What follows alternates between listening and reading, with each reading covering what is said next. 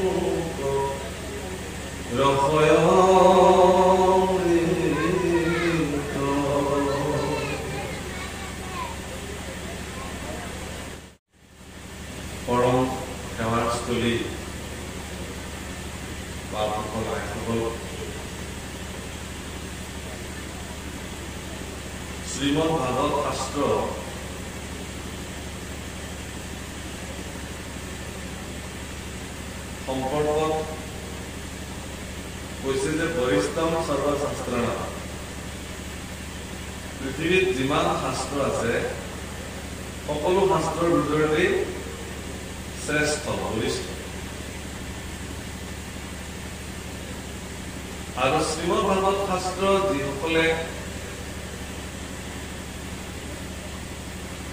শ্ৰৱণ কৰে কীৰ্তন কৰে সেৱা কৰে এনেকি চকুৰে দৰ্শন কৰিলে কৰিলেও তেওঁ সমস্ত পাপৰ পৰা মুক্ত হৈ শ্ৰৱণাত কীৰ্তনাত পাঠ আৰু দৰ্শনাত পাপ আছে শ্ৰৱণ কীৰ্তন পাঠ সেৱা দৰ্শন যিকোনোতে সমস্ত পাপৰ পৰা মুক্ত হ'ব গতিকে এনে যেন বৰিষ্ঠ শাস্ত্ৰ শ্ৰীমদ ভাগৱত শাস্ত্ৰ সেই শাস্ত্ৰ আজি আপোনালোকৰ দৰে সজ্জনসকলে ইয়াত শ্ৰৱণ কীৰ্তনৰ আয়োজন কৰিছে গতিকে প্ৰাৰম্ভণিতে সমস্ত উদ্যোক্তা ৰাইজৰ প্ৰতি আমি পৰৱৰ্তী কৃতজ্ঞতাৰ সেৱা নিবেদন কৰিলোঁ সেইকাৰণে যে আমাৰ নিচিনা মূঢ়জনক আপোনালোকে আমন্ত্ৰণ কৰি আনি ভাগৱতৰ নিচিনা বৰিষ্ঠ শাস্ত্ৰ শ্ৰৱণ কীৰ্তনৰ সুবিধা প্ৰদান কৰে বোলে আমি কোন ছাৰ কৃষ্ণ সদায় আমিনো কোন এনে ছাৰ কৃষ্ণ গাভৰ কাৰণে? কৃষ্ণ কথা কোৱাৰ যোগ্যতা আমাৰ হৈছেনে নাই সন্দেহ? ভাগৱত কথা শ্ৰৱণ কৰাৰ কীৰ্তন কৰাৰ সামৰ্থ্য ভগৱন্তপুৰুষে আমাক দিছেনে নাই সেয়া তেওঁ জানিব। কিন্তু যিহেতু দুৰ্লভ্য মনুষ্য জন্ম এই জন্মত আটাইতকৈ সাৰ কথাকৈ হ'ল সৎসংগ। সাধু সংগ গতিকে আজি আপোনালোকৰ দৰে সাধু সংগ সাক্ষাৎ পাই আমাৰ জীৱন ধন্য হ'ল। আৰু এই চাগে ভক্তজনৰ প্ৰতি সেৱা নিবেদন কৰিলোঁ। আৰু আমাৰ দায়িত্বভাগ আমি পালন কৰিবৰ কাৰণে আগবাঢ়িছোঁ।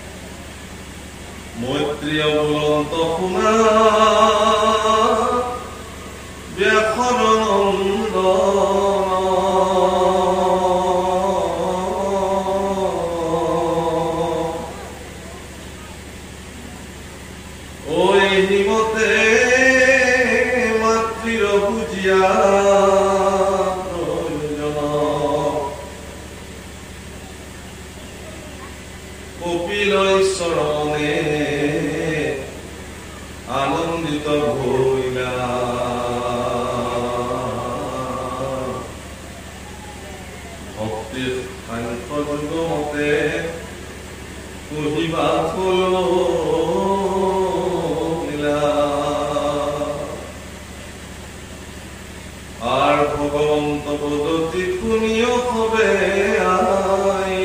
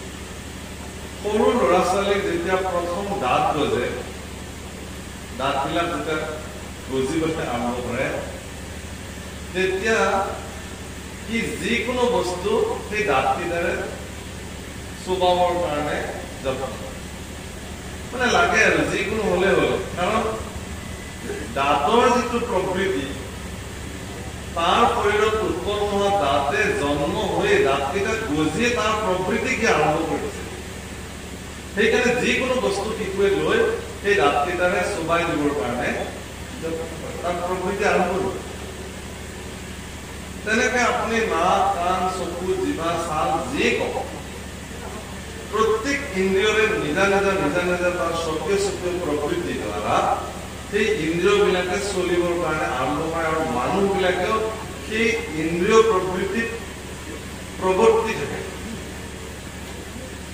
আপোনালোকে এটা কথা জানি ভাল পাব যে ইন্দ্ৰিয়বিলাকৰ প্ৰকৃতি দুই প্ৰকাৰ এটা হ'ল বহিৰ্মুখী এটা হ'ল অন্তৰ্মুখী। ইন্দ্ৰিয়বিলাকৰ স্বভাৱ দুই প্ৰকাৰৰ। এটা বাহিৰৰ ফালে যায় এটা ভিতৰৰ ফালে যিবিলাক বহিৰ্মুখী এইটো স্বাভাৱিক প্ৰক্ৰিয়া। যেনে এই চকুকেইটাৰে কেৱল চাব খোজে। কি চাব খোজে? তেওঁৰ মনে যিটো বিচাৰিব সেই ধৰণে চকুৱে চাব বিচাৰে। আৰু তেওঁৰ মনে যিটো বিচাৰিব কাণ দুখনে তাকে শুনিব বিচাৰে। আজি ইয়াতে ভাগৱত কথা হব কাৰণে ইয়াত শক্তিশালী এটা চাউণ্ড চিষ্টেম আনিবলগীয়া আছে। এই শক্তিশালী চাউণ্ড চিষ্টেমটো যদি নহলহেঁতেন তেতিয়াহ'লে ইয়াত হয়তো শান্তিকে কোনেও ভাগত কৰিব নোৱাৰিলে কিয় যে ইয়াত ইমান বেলেগ কথা পাতিব যাৰ ফলত ভাগৱতে কি কৈ আছে সেই কথা বহুতে নুশুনিব তলত বহি থকা কিন্তু এটা মানুহৰ জুমৰ মাজত যদি কোনোবা কাৰোবাৰ বেয়া চৰিত্ৰ কবলৈ আৰম্ভ কৰে লাহে লাহে তেওঁ কিন্তু মাইক্ৰফোনৰ প্ৰয়োজন। বোলে অমুকৰ এটা ডাঙৰ কথা হল নহয় বুলি কোৱাৰ লগে লগে সকলোবিলাকে মুখ বন্ধ কৰিব কাণবিলাক খুলিব হয় নহয়? কাৰণ এই কথাটো শুনিবই লাগিব কাৰণ বেলেগৰ বেয়া কথা। কি বা হব? তেতিয়া কি হৈ যায়? সেই ইন্দ্ৰিয়বিলাক সেই কথাটোত প্ৰবিষ্ট হৈ যায়। তেওঁৰ কাণ মন চকু ভিতৰৰ সমস্ত কোষ এটা জেগাত গৈ একত গৈ নিবিষ্ট হৈ যায়। খালি সেই কথাটো লাগে তেতিয়া যিমান ভিৰৰ মাজত থাকিলেও তেনেকুৱা ৰুচিপূৰ্ণ বেয়া কথাটো প্ৰত্যেকজন মানুহে যাতে শুনি পায় মহাৰাজ পৰীক্ষিতক যেতিয়া ভাগৱত কথা কৈছিলে তেতিয়া তাত অষ্টাশী হাজাৰতকৈও অধিক ঋষিসকল উপস্থিত আছে তাতে কোন কোম্পানীয়ে তাতে চাউণ্ড চাৰ্ভিচৰ ব্যৱস্থা কৰিছিল মহামণি হাজাৰ হাজাৰ ঋষিয়ে কিন্তু ভাগৱত কথা শ্ৰৱণ তেনে কৈছিল কিন্তু বহি থকা মাত্ৰ পৰীক্ষিত তাৰমানে ভাগৱত কথা শুনিবৰ কাৰণে তাত উপস্থিত থকা সমস্ত বেদন্ত ঋষিসকলৰ মন প্ৰাণ চিত্ত একত্ৰ কৰি পেলাইছিল যিসকলে একত্ৰ কৰিছিল তেওঁলোকে ভাগৱত কথা শ্ৰৱণ এতিয়া আমি বিলাকে ভাগৱত কথা শুনিবৰ কাৰণে মন প্ৰাণ চিত্ত একত্ৰিত কৰিব পাৰো নে নোৱাৰো? পাৰো কিন্তু আমি নকৰো। সেইকাৰণে আমাক চাউণ্ড চাৰ্ভিচ লাগে ভাল চাউণ্ড চাৰ্ভিচ বেছি শব্দ হোৱা যাতে মানুহে শুনে।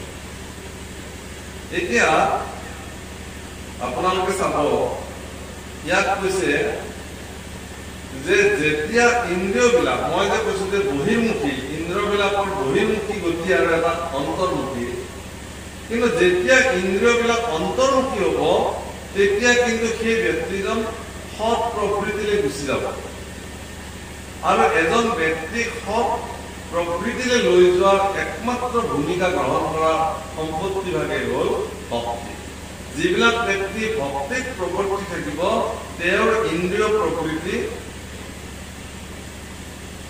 অন্তৰ্মুখীভাৱে গতি কৰিব আৰু এই কাম ভাগৱতৰ ভক্তিয়ে যি ধৰণে কৰিব অইনে কৰিব নোৱাৰে আৰু সেইকাৰণে ইয়াত কৈছে যে ই এনেকুৱা এটা ভক্তি ব্যৱস্থা যে ই মুখতকৈও অধিক গৰিষ্ঠ অৰ্থাৎ আমিবিলাকে ধৰ্ম সাধন কৰো মুক্তি প্ৰাপ্তিৰ কাৰণে কিন্তু এই ভক্তি এনেকুৱা এটা বস্তু যে সেইকাৰণে ইয়াক মুকুতিতকেও শ্ৰেষ্ঠ বুলি গণ্য কৰা। সেইকাৰণে মহাপুৰুষ মাধৱদেৱ নামঘোষাৰ প্ৰাৰম্ভণিতে মুক্তিটো নিষ্ক্ৰিয় যিটো সেই ভকতক নমো।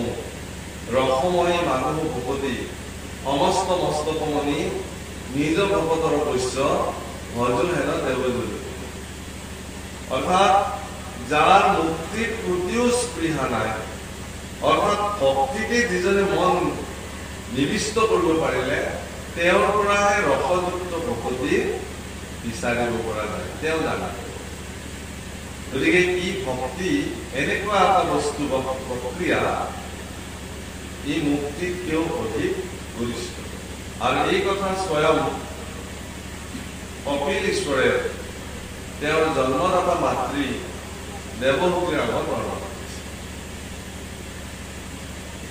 হীৰা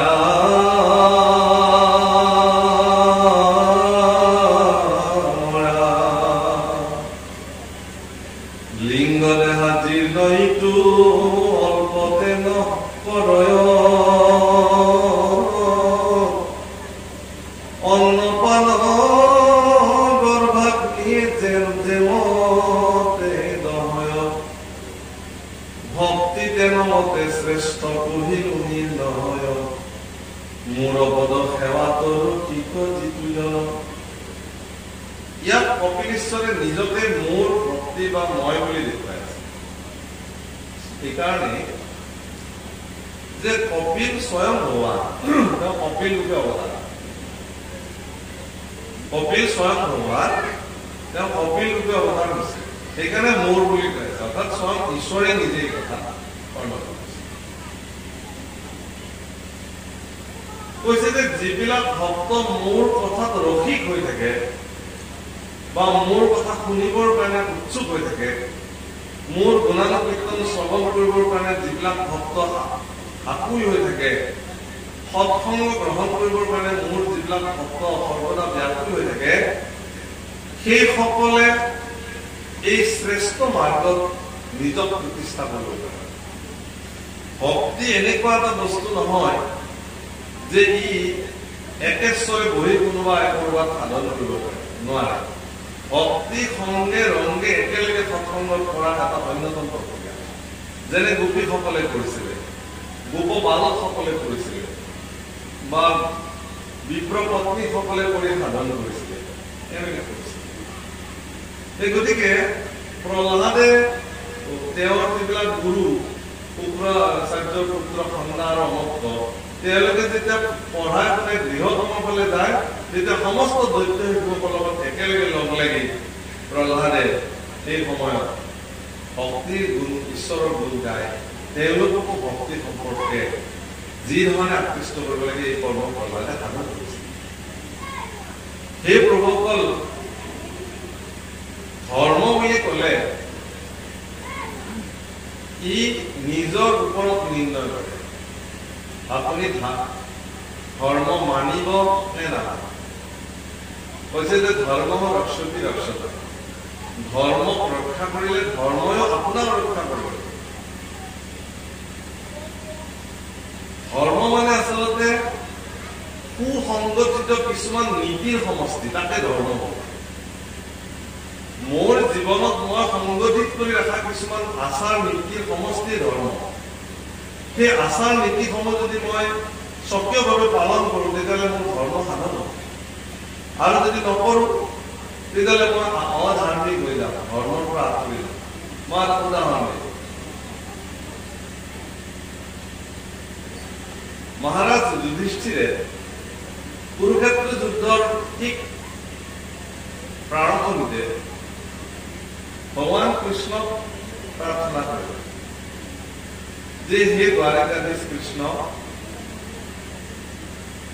আমি যিখন যুদ্ধৰ প্ৰস্তুতি চলাই আছো এই যুদ্ধখনটো বৰ ভয়ানক যুদ্ধ হ'ব বোলে যুদ্ধ মানে ভয়ানক ইয়াততো বহু ব্যক্তিৰ মৃত্যু হ'ব বোলে মৃত্যু হ'ব ইয়াততো বহু ধন সম্পত্তি ঘোঁৰা হাতী ভয় হস্তি বিনষ্ট হ'ব বোলে বিনষ্ট হ'ব বহু সালংকৃত বৰনাৰী বিধৱা হ'ব বুলি বিধৱা হ'ব। তেতিয়াহ'লে কিবাকে যুদ্ধখন নকৰাকে এই প্ৰক্ৰিয়াটোৰ সংবিধান আৰু এবাৰ প্ৰয়াস কৰিব নোৱাৰে। এইটো যুধিষ্ঠিৰৰ ভগৱান কৃষ্ণই কলে যে দাদা আপুনি কৈছে যেতিয়া মই এবাৰ প্ৰয়াস কৰি চাব কেনেকুৱা? যে তুমি হস্তিনাপুৰলৈকে বাৰ্তা প্ৰেৰণ কৰা যে আমাৰ এই যুদ্ধখন কৰাৰ আগমুহূৰ্তত এই যুদ্ধখন কিবা আলোচনাৰ মাজেৰে ইয়াত সমাপন কৰিব পাৰি নেকি? তাৰ কাৰণে আমি কিছু শান্তি প্ৰস্তাৱ লৈ পেলাই এজন শান্তি দূত আপোনালোকৰ ৰাজ্যলৈ কৰিছে আৰু সেই শান্তিদূত কোন? জগতৰ যিজন শান্তিদূত বিশ্ব ব্ৰহ্মাণ্ডৰ যিজন শান্তিদূত দ্বাৰিকাধীশ ভগৱান কৃষ্ণ স্বয়ং মহাৰাজ যুধিষ্ঠিৰৰ আজ্ঞা লৈ হস্তিনাপুৰৰ মহাৰাজ ধৃতৰাষ্ট্ৰৰ সন্মুখলৈকে শান্তিদূত হিচাপে আহিবৰ কাৰণে প্ৰস্তুতি চলালে আৰু যথা সময়ত তেওঁ আহিলে মহাৰাজ যুধিষ্ঠিৰেও দ্বাৰিকাধীশ ভগৱান কৃষ্ণক যি ধৰণে আদৰ সন্মান কৰিব লাগে তাৰ কিঞ্চিত মানুহ কিন্তু তেওঁ কৰা একদম সিংহ পৰা মহামতী। বিদুৰৰ দ্বাৰা ৰঙা দলিচা পাৰি ফুল চন্দন ছটিয়াই সম্পূৰ্ণ ভব্য স্বাগত কৰি দ্বাৰিকাধীশ ভগৱান কৃষ্ণক হস্তিনাপুৰলৈকে তেওঁ লৈ আহিছে আৰু হস্তিনাপুৰৰ সেই বৈভৱশালী ৰাজসভাত বিৰাট ৰাজসভাত ভব্য সিংহাসন ভগৱান কৃষ্ণৰ কাৰণে মহাৰাজ ধৃতৰাষ্ট্ৰই প্ৰদান কৰিছে। আৰু ভগৱান কৃষ্ণই সেই সিংহাসনত বৰিষ্ঠ হৈছে বহিছে আৰু তেওঁ শান্তি দূত হিচাপে যি শান্তি প্ৰস্তাৱ লৈ আহিছিল সেই প্ৰস্তাৱ সমাজৰ আগত তেওঁ মানে থৈছে। মহাৰাজ ধৃতৰাষ্ট্ৰৰ সন্মুখত। আৰু শান্তি প্ৰস্তাৱ কি আছিলে? যে হে মহাৰাজ ধৃতৰাষ্ট্ৰ যিহেতু যুদ্ধ বুলি ক'লে এইখন আপোনালোকৰ ভাতৃ ভাতৃৰ মাজতে এখন সংঘৰ্ষ হ'ব। অনেক ধন জন ভয় হস্তি ঘোঁৰা ইত্যাদিৰ ক্ষতি হ'ব বিনষ্ট হ'ব। এনেকে মহাৰাজ ধৃতৰাষ্ট্ৰই মোক শান্তিদূত হিচাপে প্ৰেৰণ কৰিছে যে পঞ্চ পাণ্ডৱে পাঁচখন গাঁও পালেই গোটেই হস্তিনাপুৰ ৰাজ্যৰ সমান অধিকাৰ নালাগে। মাত্ৰ পাঁচখন গাঁও পঞ্চ ভাতৃৰ কাৰণে পালেই মহাৰাজ ধৃতৰাষ্ট্ৰই কি মহাৰাজ যুধিষ্ঠিৰে আৰু যুদ্ধ নকৰে। এই বুলি কৈছে। আৰু মোৰ বিশ্বাস যে এই শান্তি প্ৰস্তাৱত যদি তোমালোকে সন্মতি জনোৱা আৰু মই যদি এই শান্তি প্ৰস্তাৱটো শান্তিদূত হিচাপে মই মানি লওঁ তেতিয়াহ'লে মোৰ বিশ্বাস যে মোৰ এই বাক্যটোক মহাৰাজ যুধিষ্ঠিৰে কেতিয়াও অৱজ্ঞা নকৰে। ধৃতৰাষ্ট্ৰই কিবা কব নাপাওঁতেই দুৰ্যোধন থিয়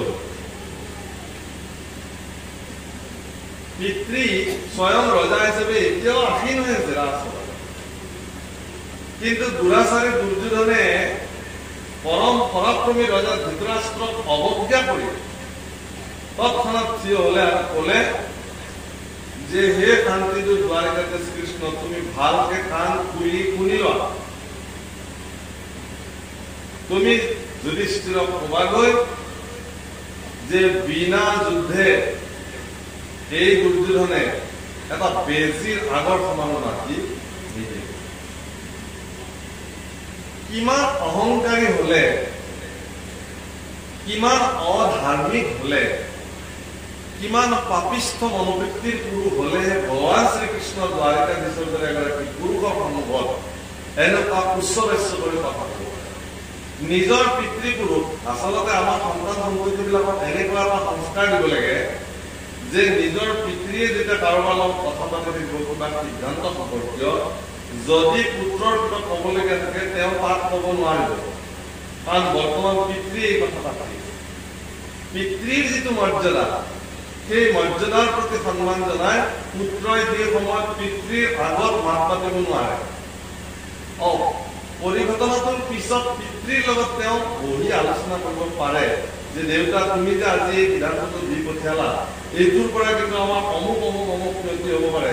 গতিকে পাৰিলে তোমাৰ এই সিদ্ধান্তটোক এনেকুৱাকে সলনি কৰিব পাৰা। এই কথাটো এজন পুত্ৰই পিতৃৰ আগত ক'ব পাৰে। কিন্তু বেলেগৰ আগত পিতৃৰ ওপৰতে তাক নস্যাত কৰি কথা ক'ব নোৱাৰে। এইটো ভাৰতবৰ্ষৰ সনাতনী পৰম্পৰা।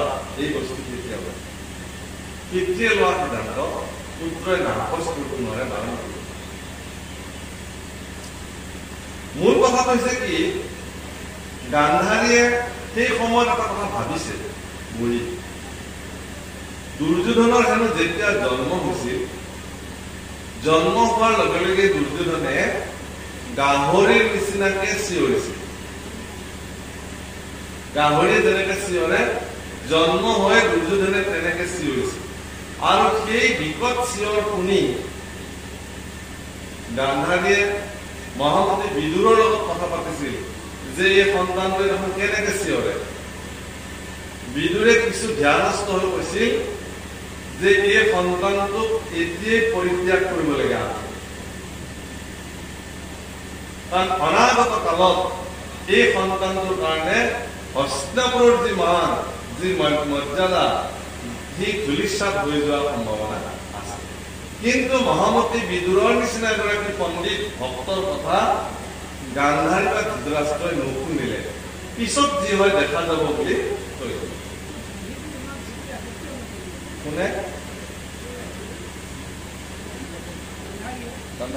শক্তি। অ আছে।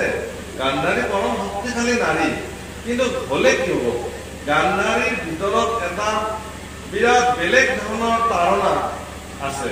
সেই তাৰণাটো কি যে তেওঁ এগৰাকী শক্তিশালী ৰজাৰ জীয়ৰী আছিল ৰাজকুমাৰী কোন আছিলে? গান্ধাৰ নগৰত আৰু তেওঁ বিয়াও হল এগৰাকী শক্তিশালী ৰজাৰ লগত ধৃতৰাষ্ট্ৰৰ লগত। গতিকে তেওঁ পৰৱৰ্তী সময়তো এগৰাকী শক্তিশালী পুত্ৰ ৰজা পুত্ৰ ৰাজমাতা হিচাপে থকাৰ তেওঁৰ বাসনা আছে সেইকাৰণে কুন্তি আৰু গান্ধাৰী একেলগে গৰ্ভৱতী হৈছিল যদিও কোনোবাই খবৰ দিলে যে মহাৰাণী গান্ধাৰীৰ মহাৰাণী কুন্তীয়ে এটি সুন্দৰ সন্তান জন্ম দিলে। এই বাৰ্তাটো শুনাৰ লগে লগে গান্ধাৰীৰ মোৰ কিয় এতিয়ালৈকে জন্ম হোৱা নাই সন্তান বুলি তাৰমানে গান্ধাৰীয়ে জানিছিল যে গান্ধাৰী আৰু কুন্তীৰ ভিতৰত যিজনে প্ৰথম সন্তান জন্ম দিব সেই সন্তানটোৱে ৰজা হ'ব। পৰৱৰ্তী। গতিকে গান্ধাৰীয়ে দেখিলে যে তেওঁক ঠিক যুধিষ্ঠিৰ আগতেই জন্ম হ'ল। গতিকে তেওঁ কাষতে থকা এটা মুদ্গৰ আনি গৰ্ভত নিজে নিজে আঘাত বাৰে বাৰে আঘাত কৰি তেওঁ প্ৰসৱ কৰিছিল। ইমান ক্ৰূৰ আছিল গান্ধাৰী গতিকে সেই গান্ধাৰীয়ে ক'ত পুত্ৰ সংস্কাৰ দিব পাৰে? কেতিয়াও কুন্তীয়ে কিন্তু পাৰিছিল। তাৰে মনৰ ভিতৰত মানুহৰ যেতিয়া বিষয় ভাৱক বাসনা লোভে যেতিয়া মানুহক ক্ৰীড়া কৰি থাকে তেতিয়া তেওঁ সংস্কাৰটো পাহৰি যায়। কিন্তু কুন্তীয়ে নিজৰ সংস্কাৰ পাহৰা নাছিল আৰু তেওঁৰ সন্তান সন্ততি এগৰাকী মানৱীয় সংস্কাৰ যি ধৰণে দিব লাগে আই কুন্তীয়ে সেই সংস্কাৰ দিয়াত কিঞ্চিত মানুহ কাৰ্পণ্য কৰা নাছিল? তাৰ প্ৰমাণ আপোনালোকৰ হ'ব। আচ্ছা যেতিয়া দুৰ্যোধনে কলে যে মই বিনা যুদ্ধে সুচাগ্ৰ মেদিনী নিদিওঁ এই কথাটো শুনাৰ পিছত ভগৱান কৃষ্ণই মানে দুৰ্যোধনক সুধিছে দুৰ্যোধন তুমি যে সিদ্ধান্ত ভাগ দিলা এয়া কি ধৰ্ম হল নেকি? প্ৰশ্নটো মই এই ইয়াত এটা থকা প্ৰাসংগিকতাৰ কথা কৈ আছো। এনে ইয়াত কৈছে যে ইন্দ্ৰিয়সমূহক হৰিত নিষ্কামভাৱে যিসকলে প্ৰৱৰ্তাব পাৰে ইন্দ্ৰিয়ক নিষ্কামভাৱে কেনেকে তো দুৰ্যোধনে কলে কি বুলি? কৃষ্ণৰ কথা শুনি দুৰ্যোধনে কলে যে মই জানো এয়া ধৰ্ম নহয়। কিন্তু তথাপিও মই এইটো কৰিব নোৱাৰো। কিয়? যে ধৰ্ম জানো মই কিন্তু ধৰ্মত মই মোৰ প্ৰকৃতি নাই। আৰু অধৰ্ম কি সেয়াও মই জানো। কিন্তু অধৰ্মৰ পৰা মোৰ নিবৃত্তি নাই। কথাষাৰ বহুত গুৰুত্বপূৰ্ণ। মাধৱপুৰুষে নামঘোষা থাকিলে আনিছে ইয়াৰ প্ৰথম ধৰ্মক জানো মই তথাপি প্ৰবৃত্তি নাই। অধৰ্মতো নিবৃত্তি নাই। মই ধৰ্ম কি জানো? আচ্ছা ধৰ্ম নাজানা মানুহ কোন আছে? গতিকে দুৰ্যোধনেও কৈছে কি বুলি? যে ধৰ্ম মই জানো হে কৃষ্ণ। কিন্তু তাত মোৰ প্ৰবৃত্তি নাই। মই ধৰ্ম প্ৰবৃত্তি নাথাকো। আৰু অধৰ্ম কি সেয়াও মই জানো কিন্তু তাত মোৰ নিবৃত্তি নাই। তাৰ পৰা মই আঁতৰি আহিব গতিকে দুৰ্যোধনৰ দৰে ব্যক্তিবিলাকে পৰম পৰাক্ৰমী আৰু শক্তিশালী হোৱাৰ পিছতো ইন্দ্ৰিয়ৰ প্ৰবৃত্তিবিলাকক তেওঁ নিজৰ হাতত নিয়ন্ত্ৰিত কৰি ৰাখিব নোৱাৰে সেইকাৰণে তেনেকুৱা বল আৰু পৰাক্ৰমৰ পৃথিৱীত কোনো প্ৰয়োজন নাই বুলি ভগৱানে তেওঁলোকক নিধন কৰিছে। অৰ্থাৎ আপোনাৰ শৰীৰতো পৰম পৰাক্ৰম থকাৰ পিছতো যদি সেই বল আৰু পৰাক্ৰম জগতৰ কল্যাণৰ কাৰণে যদি প্ৰয়োগ নহয় তেতিয়াহ'লে ভগৱানে তাক প্ৰৱৰ্তি থকাটো নিবিচাৰে। আপোনাৰ শৰীৰত থকা বল আৰু পৰাক্ৰম যদি জগতৰ কল্যাণৰ কাৰণে প্ৰয়োগ হয় তেতিয়াহ'লে সেই বল আৰু পৰাক্ৰমক বৃদ্ধি কৰিবৰ কাৰণে ভগৱানে যি কৰিব লাগে তাকে কৰিব। আৰু যদি সেই বল পৰাক্ৰমৰ দ্বাৰা জগতৰ সৰ্বদা অকল্যাণ হৈছে তেতিয়াহ'লে কিন্তু সেয়া ভগৱতৰ সহ্য বাৰু যি নহওক ইয়াতো এই কথাবোৰ প্ৰভুসকল ধৰ্ম আমি প্ৰত্যেকেই জানো কিন্তু মন কৰিব লাগিব যে মই ধৰ্মত প্ৰৱৰ্তি আছো নে অধৰ্ম কি সেয়াও আমি জানো। কিন্তু ধৰ্মৰ পৰা অধৰ্মৰ পৰা নিবৃত্তি পাইছো নে নাই? অধৰ্মৰ পৰা নিবৃত্তি পোৱাৰ ব্যৱস্থাটো কি? যে আপোনাৰ ভিতৰত বাৰে বাৰে অধৰ্ম কৰাৰ তাৰণাই ক্ৰীড়া কৰিছে বাৰে বাৰে আপোনাৰ ভিতৰত থকা মনটোৱে বাৰে বাৰে অধৰ্ম কৰিবৰ কাৰণে আপোনাক উৎসাহিত কৰিছে যদি বাৰে বাৰে অধৰ্মক লিপ্ত হবৰ কাৰণে আপোনাক ভিতৰৰ পৰা প্ৰবৃত্তি কৈ আছে তেতিয়াহ'লে জানিব। জানিব যে আপুনি অধৰ্মৰ পৰা নিবৃত্তি পোৱা নাই আৰু সেইকাৰণে আজি কপিল দেৱতী সংবাদত ইয়াত এই কথা খুব ধুনীয়াকে লিংগ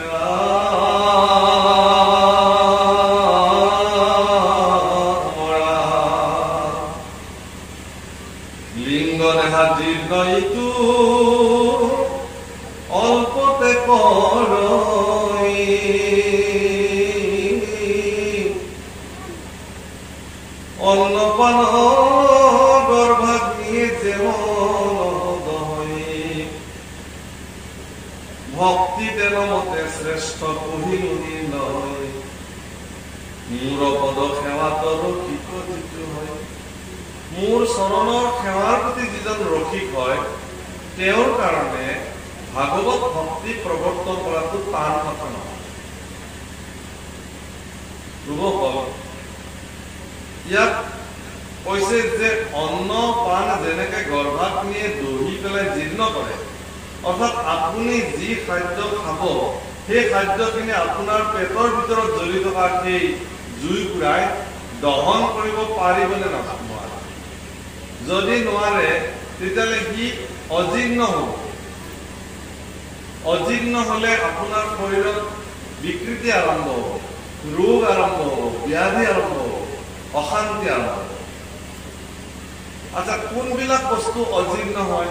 গৰ্ভত পেটৰ অগ্নিত কোনবিলাক বস্তু অজীৰ্ণ হয়? যিবিলাক বস্তু সিদ্ধ নহয়। অৰ্ধ সিদ্ধ বা অসিদ্ধ বস্তু যিবিলাক মানুহে গ্ৰহণ কৰে খাদ্য। সেইকাৰণে ধৰ্মৰ ক্ষেত্ৰতো যিবিলাক ব্যক্তি সিদ্ধ হল ভক্তি ৰাজ্যত তেওঁলোকৰ কাৰণেহে ধৰ্ম সাধনৰ কাৰণে ভক্তি ৰাজ্যত যদি তেওঁ সিদ্ধ হব পৰা নাই অৰ্থাৎ ভক্তি ৰাজ্যত এজন ব্যক্তি সিদ্ধ হবৰ কাৰণে তেওঁ কি কৰিব লাগিব? প্ৰশ্ন। যে কি কৰিলে ভক্তি ৰাজ্যত ব্যক্তি এজন সিদ্ধ হব?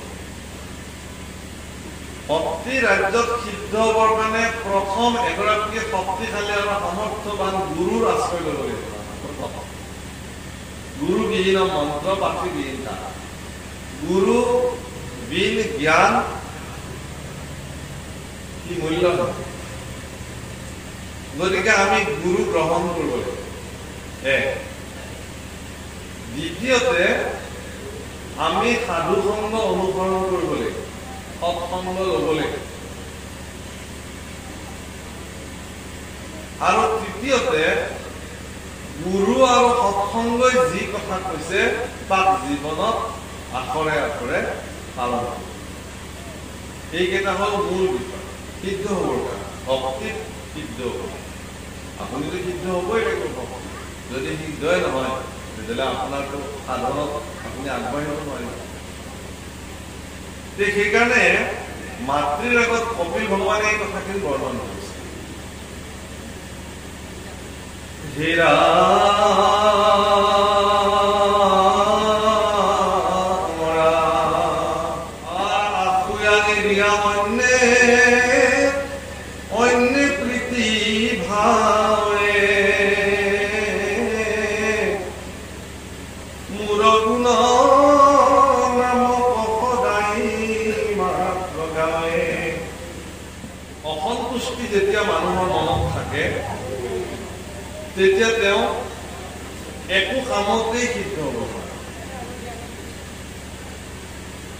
কাৰণ তেওঁৰ জীৱনত সুখ নাহে অসূয়া কৰা মানুহবিলাক সেইকাৰণে কৈছে কি সন্তোষম পৰম সুখম। সন্তুষ্টি জগতৰ শ্ৰেষ্ঠ সুখ। সন্তুষ্টি কাৰোবাৰ মনত যদি নাথাকে আমাৰ ল'ৰা ছোৱালীবিলাকৰ ক্ষেত্ৰতে ঘৰত চাব যে একেখন ঘৰৰ দুটা তিনিটা ল'ৰা ছোৱালী যিটো ল'ৰাৰ কোনো ধৰণৰ অসুবিধা নাই মাকে যি দিছে তাকে খালে। সেই ল'ৰাটোৰ স্বাস্থ্য পাতিও ভাল আৰু তাৰ বেমাৰ আজাৰ। আৰু যিটো সন্তানে ইটো নাখাওঁ সেইটো নাখাওঁ কেৱল অশান্তি আৰু অশান্তি তাৰ স্বাস্থ্য পাতিও বেয়া ৰুগ্ন শৰীৰ আৰু একো কামতে তাৰ মন নকৰে। বাহ্যিক জগতৰ সকলো কথাতে আপুনি মন কৰিব যে যদি কেনেবাকে অসন্তুষ্টি আহিল তেতিয়াহ'লে সেই কাৰ্যত ব্যক্তিজন শুদ্ধ আৰু ধৰ্ম কাৰ্যটো এইটো অত্যন্ত দৃঢ়। আপুনি যি ধৰ্ম কাৰ্য সাধন কৰিছে তাত সম্পূৰ্ণ সন্তুষ্টিৰে ধৰ্ম কাৰ্য সাধন কৰিব লাগিব যে হে ভগৱান তোমাৰ গোসানী অভয় চৰণত মই আশ্ৰিত হৈছো। গতিকে পৰম সন্তুষ্টিৰে মই তোমাক ভজনা কৰিবৰ কাৰণে প্ৰয়াস কৰিছো তুমি মোক কৃপা। অৰ্থাৎ সন্তুষ্টিৰে ভগৱানক ভজনা কৰিব লাগে অসন্তুষ্টিৰে নহয়। সেইকাৰণে ভগৱানক ভজা সময়খিনি তেওঁ ব্যক্তিগৰাকী সম্পূৰ্ণ সুস্থ মনেৰে ভগৱানক ভজিব লাগিব তাত অসন্তুষ্টি আনিব কোনো কাৰণে তে ইয়াতে সেইকাৰণে কৈছে হে রাম আর দেখি থাকে ঘুর দিব্য রূপ বিতূপন প্রসন্ন বদন সারুণ নয়ন মই সমে কথাবার্তা কহিয়া থাকয় মুখ আদি কৰি তৃণ সমানে বনয়। মোৰ ভক্তসকল এনেকুৱা যে তেওঁলোকক সাজুৰ্য সাৰুক্য সালুক্য বা শাস্ত্ৰীয় বা নিৰ্বাণ এনেকুৱা মুক্তি দিলেও সেইবিলাক নালাগে বুলি কয়। মোৰ ভক্তক নালাগে। সালুক্য মানে একে লোকত থাকিব সেই মুক্তি। সাজুৰ্য ভগৱানৰ লগত যুক্ত হৈ যাব সেয়া মুক্তি। সামীপ্য মানে সৰ্বদা ভগৱানৰ সমীপতে থাকিব য'ত যায় ভগৱান তালৈকে যাব। শাস্ত্ৰীয়ভাৱে একে ভগৱানৰ নিচিনা একেই হৈ যাব। বিলীন হৈ যাব ভগৱান যেনেকুৱা শক্তিশালী তেওঁ হৈ যাব। ইমানখিনি প্ৰাপ্তিৰ পিছতো এজন ব্যক্তিয়ে দেখিব যে তেওঁ মুক্তি নালাগে বুলি কয় যিবিলাক প্ৰপন্ন ভক্ত। কাৰণ তেওঁ জানে যে ভক্তিত যিমান সুখ আছে মুক্তিত সেই সুখ নাই। ভক্তিযুক্ত জীৱন যিমান সুখকৰ বেলেগ জেগাত সেই নাপায় সেইকাৰণে ভক্তসকলে সৰ্বদা কি কৰে সন্তুষ্টিৰে ভক্তি সাধন কৰিবৰ কাৰণে মুকুতিকো নিবিচাৰি কেৱল ভক্তিতেই নিজক বিলীন কৰি ৰাখিব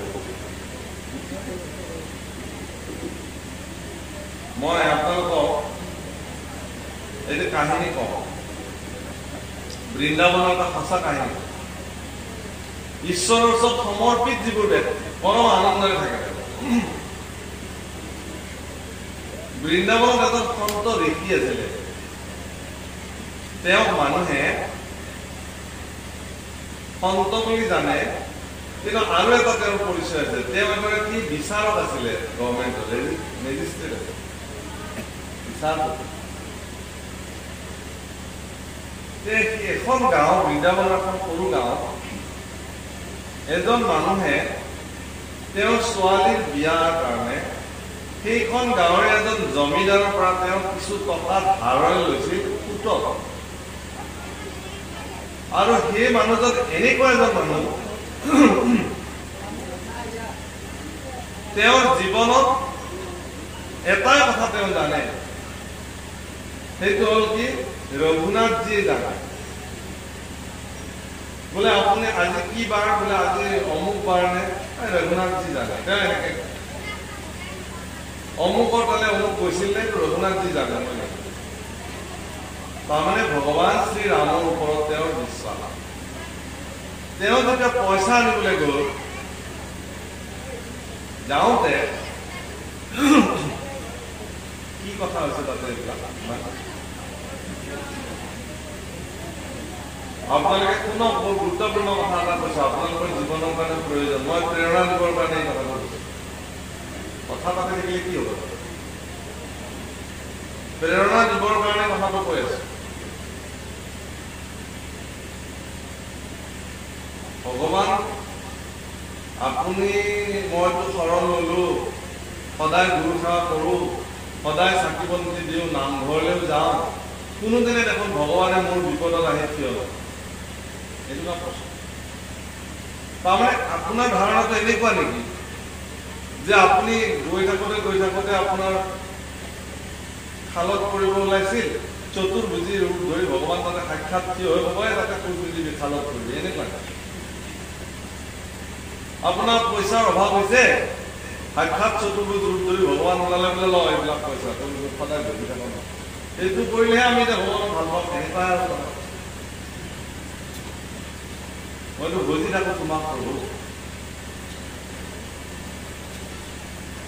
সেই সমৰ্পিত ব্যক্তিগৰাকীয়ে যেতিয়া তেওঁ পইচা ধাৰণে ললে ছোৱালীজনী বিবাহ দিলে তেওঁৰ পুত্ৰ দুজনে কলে যে দেউতা তুমি এই পইচা কেইটাক লৈ চিন্তা কৰিব নালাগে আমি দুজন তোমাৰ পুত্ৰ আমি এতিয়া উপাৰ্জন কৰিব পৰা হৈছো আমি উপাৰ্জন কৰি যথা সময়ত এই পইচা কেইটা ধাৰ তোমাৰ হাতেৰে আমি মাৰি দিম তুমি নিশ্চিন্তকে এতিয়া ঈশ্বৰ ভজনা কৰা পুত্ৰ পিতৃক এইবুলি কলে আৰু তেওঁ পৰম সন্তুষ্টি মনেৰে সেই গাঁৱৰে সিমূৰত থকা ৰঘুনাথ মন্দিৰত আহি পেলাই জীৱন পাতে সমন্বয় একো নাই সদায় উঠি চাফ চিকুণ কৰে ধোৱা পখলা কৰে সাৰে আশ্ৰমখন ধুনীয়াকে ৰাখে মন্দিৰ চৌহদ সেই কথা।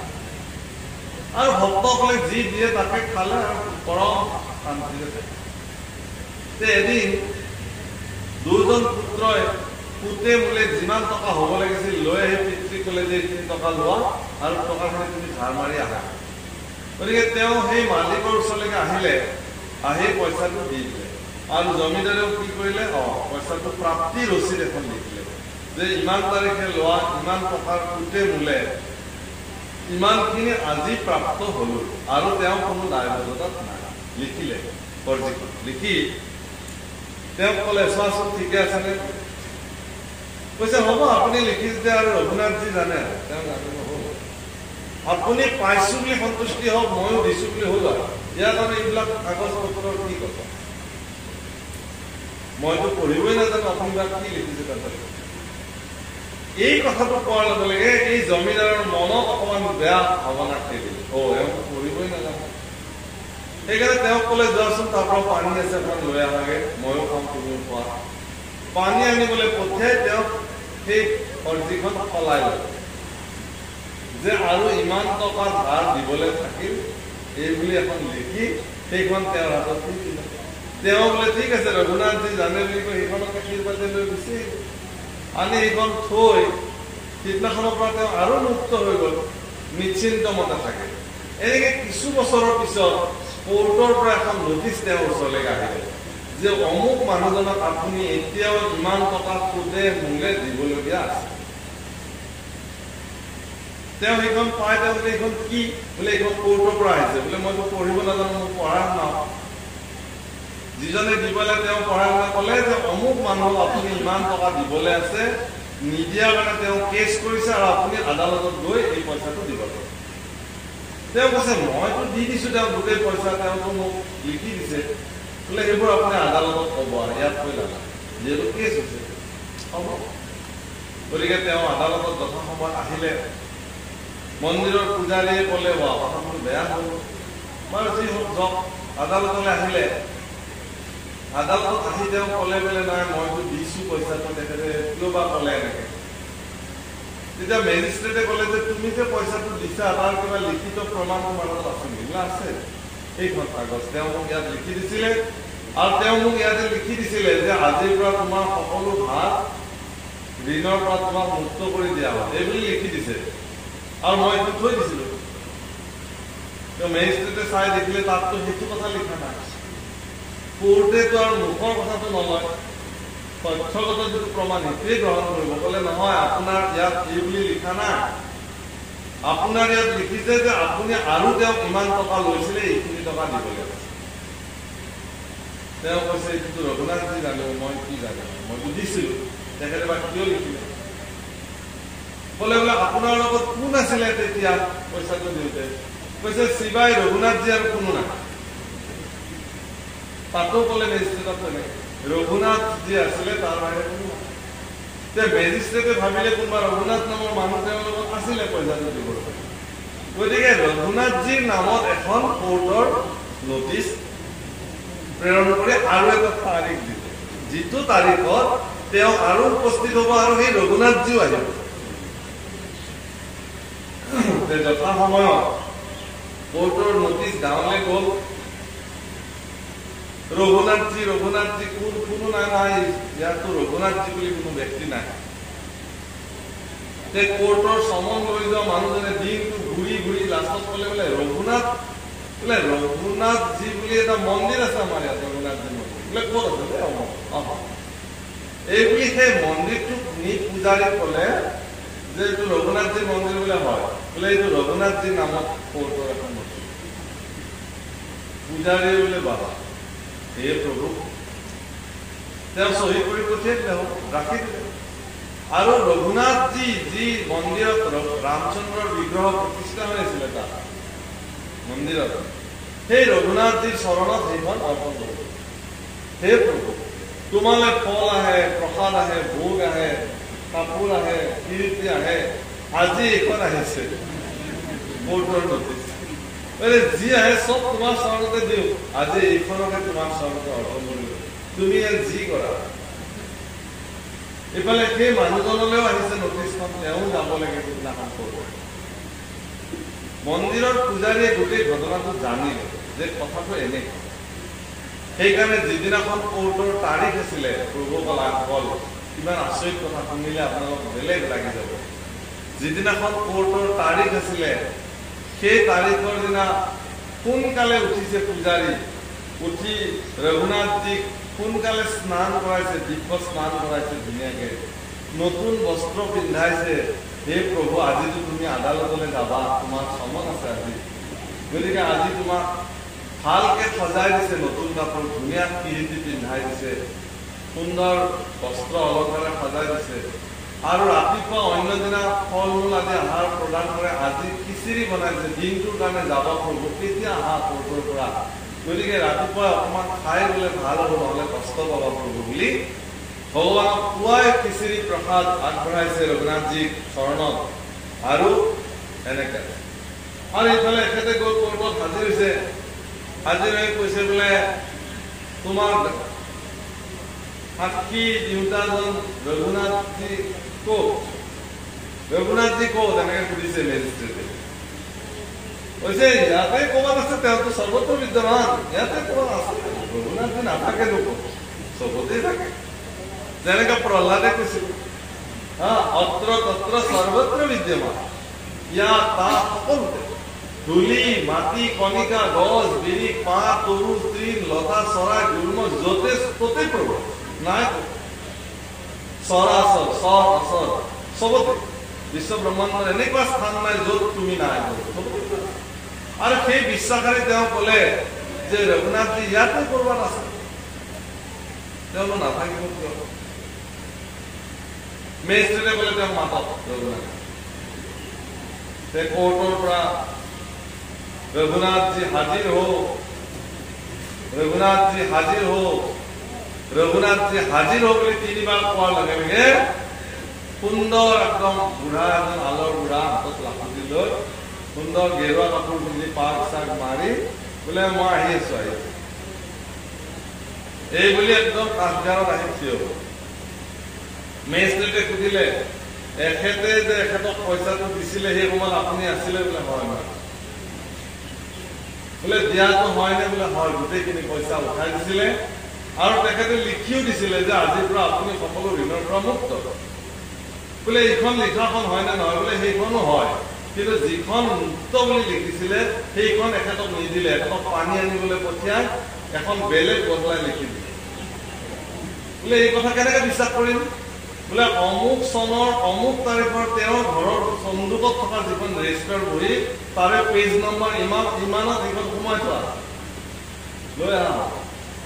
মেজিষ্ট্ৰেটে অৰ্ডাৰ দিলে আৰু লগে লগে চিপাহী চৌধুৰী গৈ তেওঁৰ চন্দুক খুলি গোটেই ৰেজিষ্টাৰ বহি টোপোলা দাঙি লৈ আহিলে আহি কোৰ্টৰ বজিয়াত যেতিয়া খুলি সেইখন ৰেজিষ্টাৰ কৰিলে হয় সেই ফৰ্জিখন তাত ওলাল আৰু ক'লে এইখন বোলে হয় এইখনে মেজিষ্ট্ৰেটে এইখন চালে আৰু তেওঁ সুধিলে বোলে এইখন আকৌ হয় বোলে হয় তেতিয়া আদালতৰ আগত তেওঁ কৰা দুই নম্বৰটো তেওঁ স্বীকাৰ কৰিছে যে মোৰ ভুল হৈছে মই তেতিয়া এটা হুলস্থুল পৰিৱেশ সৃষ্টি হ'ল আৰু তেওঁ মেজিষ্ট্ৰেটে তেওঁক ৰেহাই দিলে তেওঁক দায় মুক্ত কৰি দিলে এইজনক তেওঁ সেৱা কৰিলে আদালতৰ পৰা ওলালে কাঠগাৰৰ পৰা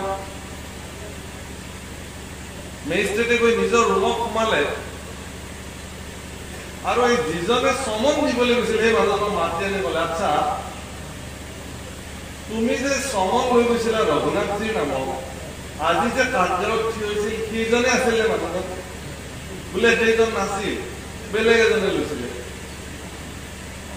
এইখনক মাতা তেওঁ দিলে বোলে এই যে হৈছিল এইজন ৰঘুনাথজী তোমাৰ লগত গৈছিলে বোলে নাই মহাশয় মোৰ লগত কোনো ব্যক্তি যোৱা নাই মই ৰঘুনাথজী বুলি ঈশ্বৰকে কৈ থাকো তেওঁ মোৰ লগত থাকে মই এইটোৱেই জানো যে ৰঘুনাথজী মানে মই ভগৱানৰ কথা কওঁ আৰু এই কথাটো শুনাৰ লগে লগে মেজিষ্ট্ৰেটৰ মনত একদম বেলেগ ধৰণৰ এটা ক্ৰীড়া আৰম্ভ গ'ল ভালে এইটো কি কথা তেওঁ আৰু বুজিবলৈ বাকী নাথাকিল যে সঁচাকে স্বয়ং ৰঘুনাথ আহি আজি কৰ্টত হাজিৰ হ'ল আৰু তেওঁৰ মনত এটা ডাঙৰ ক্ৰীড়া আৰম্ভ হ'ল আৰু তেওঁৰ লগে লগে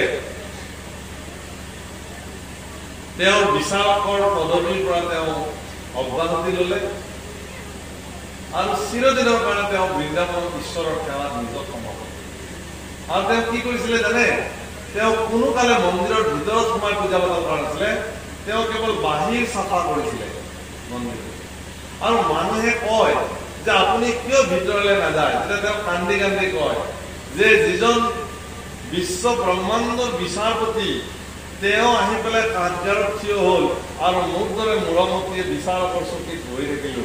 এই ঘটনাটোৱে মোৰ গোটেই জীৱনত মোৰ দুখ যে বিশ্ব ব্ৰহ্মাণ্ডৰ ন্যায়দাতা বিশ্ব ব্ৰহ্মাণ্ডৰ যিজন প্ৰকৃত ন্যায়ৰ গৰাকী যিজন সঁচা অৰ্থত বিচাৰপতি তেওঁ আহি পেলাই মোৰ কাঠগাৰত থিয় হৈ দিলে আৰু মোৰ দৰে এজন মূৰমতীয়ে মই এখন বিচাৰকৰ বহি থাকিলো গতিকে সেইকাৰণে তেওঁৰ সন্মুখত গৈ তেওঁক দেখা দিয়াৰ যোগ্যতা মোক মোৰ আছেনে নাই মই ভাবি পোৱা নাই সেইকাৰণে মই তেওঁৰ কাৰণে তেওঁ বাহিৰৰ যিমান চাফ চিকুণ কাম গোটেই জীৱন কৰাৰ সংকল্প এয়া হ'ল ডাঙৰ কথা।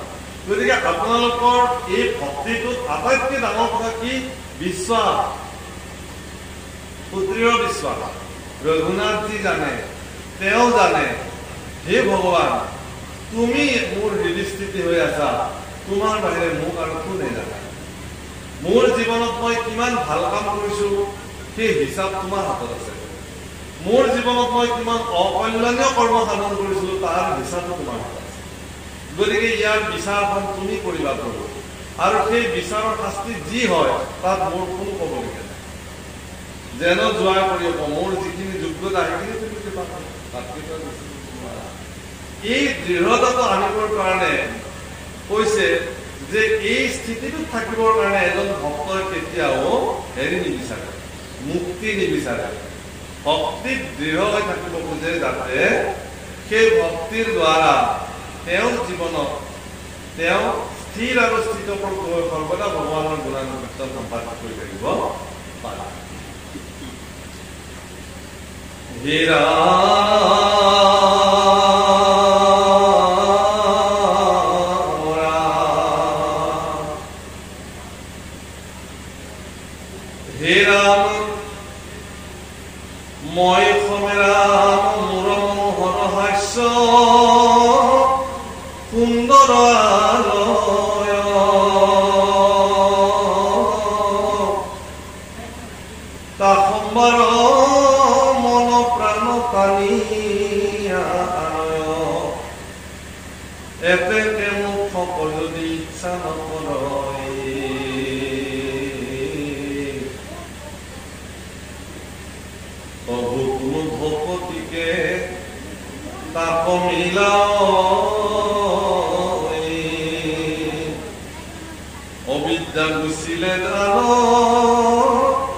বিভূতি যতে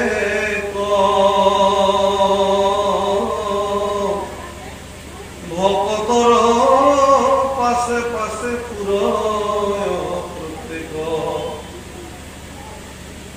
মূল কথা হল অবিদ্যা।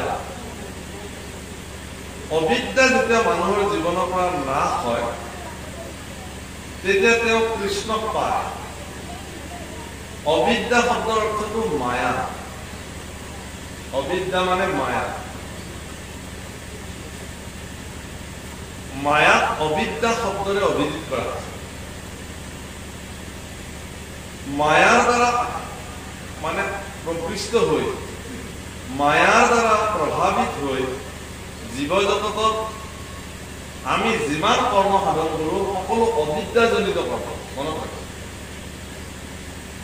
আৰু ঈশ্বৰৰ দ্বাৰা প্ৰভাৱিত হৈ যিবিলাক কাৰ্য আমি জীৱনত সম্পাদিত কৰোঁ সেইবিলাক হৈ বিদ্যাজনিত কৰ্ম সেইকাৰণে নামঘোষাত লিখিছে যে অবিদ্যা নাখিলে লাগ কৃষ্ণক পাৱয় যেন কণ্ঠলগ্ন বস্তু নহয় যে ঈশ্বৰ কৃষ্ণক পাবৰ কাৰণে প্ৰথমতে অবিদ্যা নাশ হ'ব লাগিব। অৰ্থাৎ মায়াৰ প্ৰচণ্ড প্ৰভাৱৰ পৰা আপুনি মুক্ত হ'ব পাৰিব লাগিব। এইটোও ঠিক যে মায়াৰ প্ৰভাৱৰ পৰা মুক্ত হ'ব পৰাটো ইমান সহজ কথা নহয়। কাৰণ মায়াও ঈশ্বৰৰ অন্যতম অংশ আৰু ঈশ্বৰৰ আজ্ঞাবহ হৈয়ে মায়াই জগতত কৰ্ম সাধন গতিকে মায়াক নিবাৰণ কৰাটো আপোনাৰ পক্ষে সম্ভৱ নহয়।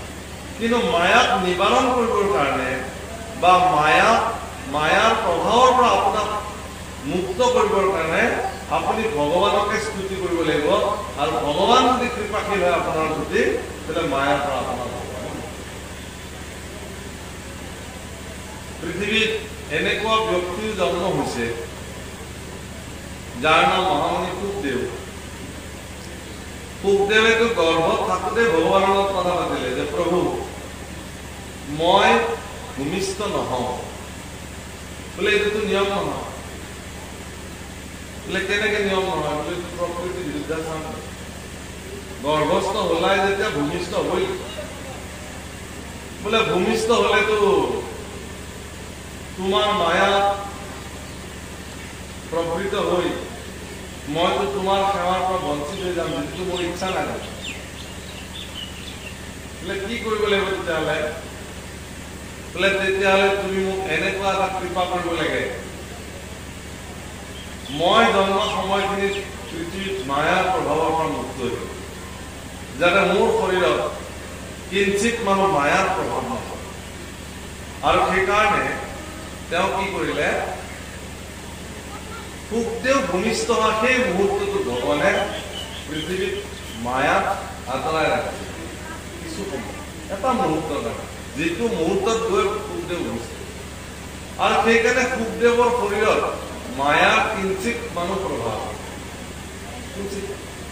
সেইকাৰণে অৱধূত শিৰোমণি মহামণি সুখদেৱ যেতিয়া সহস্ৰ সহস্ৰ ঋষিৰ মাজত বহি আছে তেওঁ সম্পূৰ্ণ বিবস্ত্ৰ দেখিবলৈ কৃষ্ণ বৰ্ণ আৰু ইমানেই সুন্দৰ হুবহু কৃষ্ণ পুৰুষৰ নিচিনা। মাত্ৰ অলংকাৰখিনি তেওঁৰ শৰীৰত নাই। ভগৱান কৃষ্ণৰ অলংকাৰখিনি যদি এপদ এপদ এপদ এপদকে সুখদেৱৰ শৰীৰত পিন্ধাই দিয়া হয় তেতিয়াহ'লে ভগৱান সাক্ষাৎ ভগৱান কৃষ্ণৰ নিচিনা মূৰ্তি ধাৰণ কৰি পেলাব ইমান সুন্দৰ। সেইকাৰণে সুখদেৱ সন্মুখত যেতিয়া পৰীক্ষিতৰ সন্মুখত বহি কৃষ্ণ কথা কৈছিলে পৰীক্ষিতে একান্ত চিত্তে সুখদেৱৰ ফালে চাই আছিলে যেন সাক্ষাৎ ভগৱান বিদ্যমান। হা? ৰংটো তেনেকুৱা তেওঁৰ বৰণটো তেনেকুৱা যে সাক্ষাৎ সুখদেৱ কৃষ্ণ সাক্ষাৎ ৰূপেৰে তেওঁ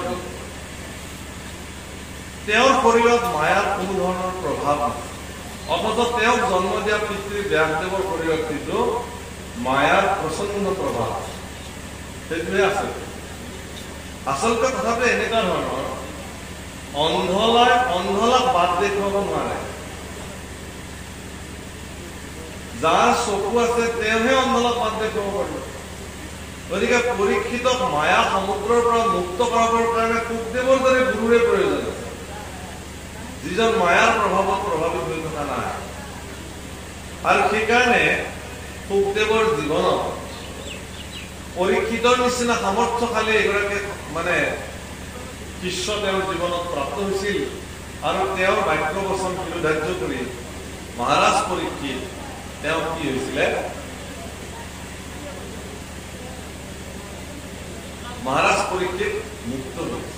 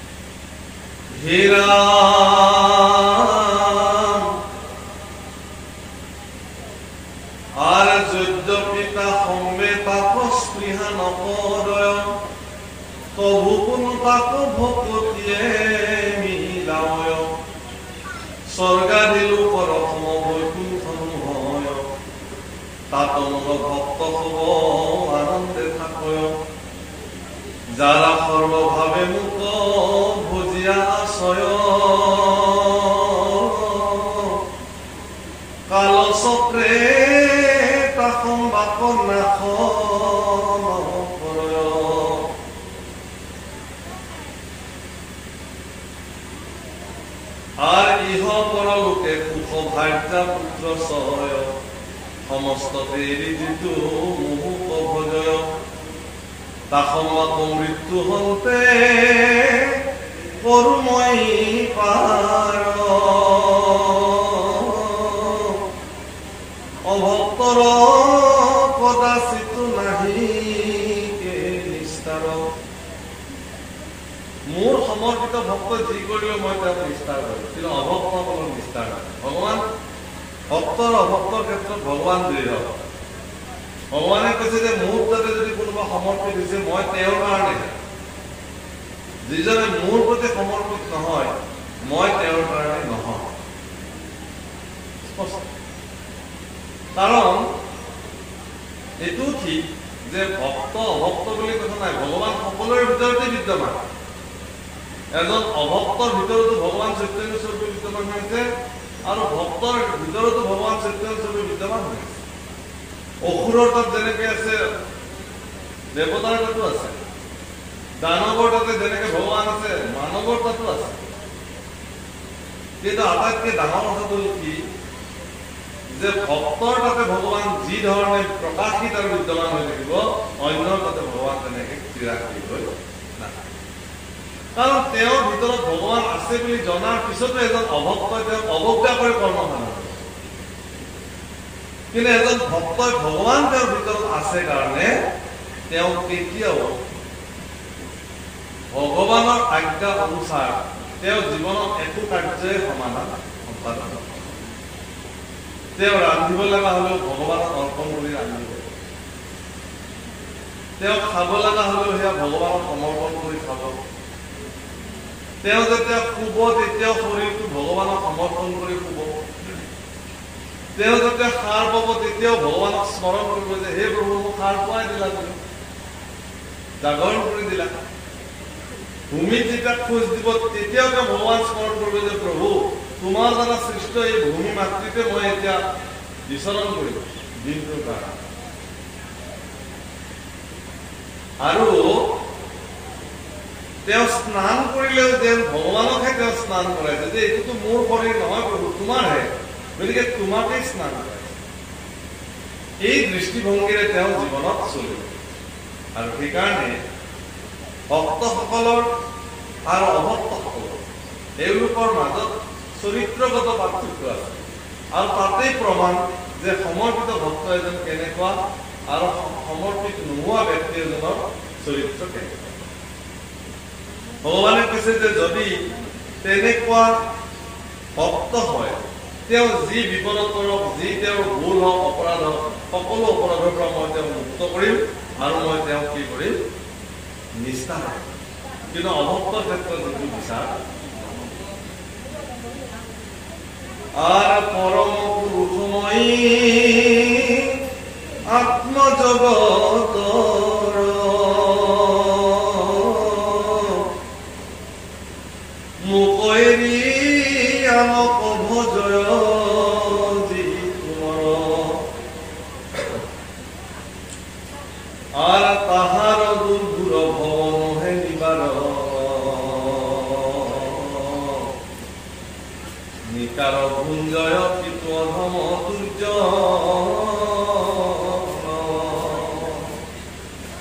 তাতে যিবিলাক সমৰ্পিত নহয় সেই ব্যক্তিবিলাকে দুৰ্ঘুৰ ভৱ ভয় সংসাৰ কেতিয়াও কৰি যাব নোৱাৰে। তেওঁলোকে নিকাৰ ভুঞ্জিবই লাগিব যন্ত্ৰণা ভুগিবই লাগিব। আমাৰ সমস্যাটো ক'ত? যে যেতিয়া আমাৰ জীৱনত সুখ হয় আনন্দৰে আমি থাকো তেতিয়া আমি এই আনন্দ যে তুমি দিছা ভগৱান এই কথাটো স্বীকাৰ নকৰো। আমি যেতিয়া সুখেৰে জীৱন ভৰপূৰ হৈ থাকে তেতিয়া ভগৱানৰ প্ৰতি আমি কৃতজ্ঞ নহওঁ পৃথিৱীত বোলে আটাইতকৈ শ্ৰেষ্ঠ অপৰাধটোৰ নাম হ'ল কৃতজ্ঞতা।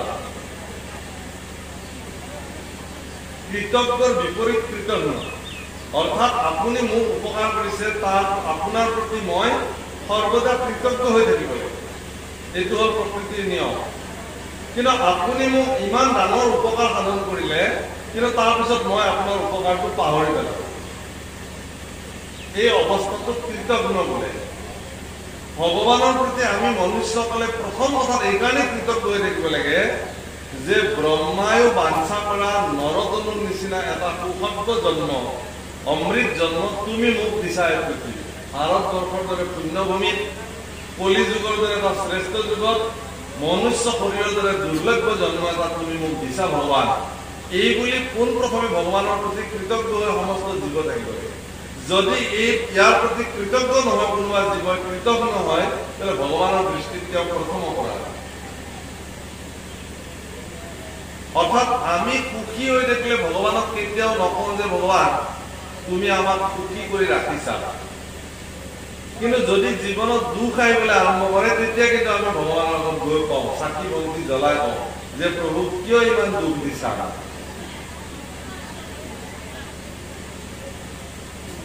চাকি গছ জ্বলাই পেলাই আমি ভগৱানৰ ওচৰত কমপ্লেইনটো দিওঁ। হে ভগৱান আমাক সেই ইমান দুখ দিবলৈ পাৰিছানে কিয় ইমান দুখ দিছা? কিয় আমাক ইমান যন্ত্ৰণা দিছা? এই বুলি আমি ভগৱানৰ ওচৰত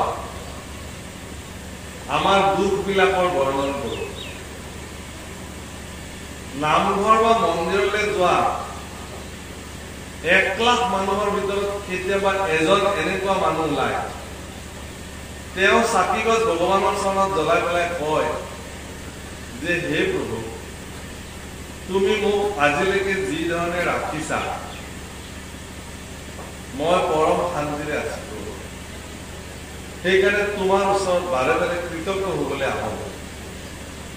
মোৰ এই কৃতজ্ঞতাৰ সেৱা তুমি গ্ৰহণ কৰি মোক আৰু এবাৰ কিতাপ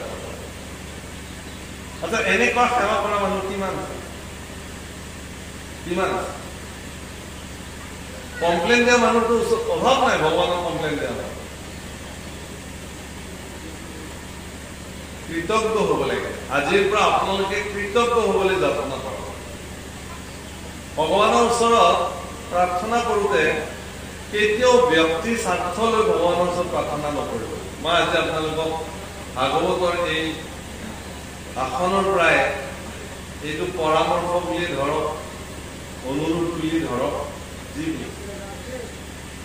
ভগৱানৰ ওচৰত কেতিয়াও ব্যক্তিগত স্বাৰ্থৰ কথা আবেদন কৰিব নালাগে। একো বিচাৰিবই নালাগে ভগৱান প্ৰহ্লাদে প্ৰহ্লাদে যেতিয়া হিৰণ্য কপুৰটোক কলে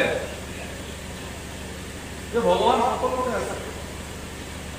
বোলে তোৰ ভগৱান চবতে থাকে। বোলে অ মোৰ ভগৱান সকলোতে আছে। বোলে এই খুটাটোত আছে নে নাই? স্তম্ভটোত অ আছে। থাকিব পাৰে। হয় নেকি মই চাওঁ ৰ। এই বুলি প্ৰচণ্ড মানে গদাৰে সেই স্তম্ভ ভাঙি চূৰ্ণ বিচূৰ্ণ কৰি দিলে ভকত ভকতৰ বাক্যক বাক্যৰ সত্যক ৰাতিপাত প্ৰতি স্ফটিকৰ স্তম্ভে ব্যাপত হৈ লাভ উপায় নাই ভকতৰ বাক্যটো ৰক্ষা কৰিবই ভকতে কৈছে ইয়াত আছে বুলি গতিকে তাত ওলাই গ'ল নৰসিংহ ভগৱান নৃসিংহ ৰূপে তাত বিদ্যমান আচ্ছা সকলোৱে ভগৱানৰ এনেকুৱা অদ্ভুত ৰূপ দেখি ব্ৰহ্মা আদি কৰি দেৱতাসকল ভয়ত কম্পমান হৈ গ'ল। বাপৰে এইটো কি ৰূপ? মৎস্য অৱতাৰ আহা ইমান ধুনীয়া মাছ এটা হ'ল। কুৰ্ম অৱতাৰ হ'ল আহা। কি সুন্দৰকে মন্দৰগিৰি ধাৰণ কৰিলে। বধু বামন হ'ল আহা। যেন কোলা যেন লৈ এখোলা চুমা খাম। ইমান মৰম লগা ইমান ভগৱানৰ ধুনীয়া ধুনীয়া ৰূপ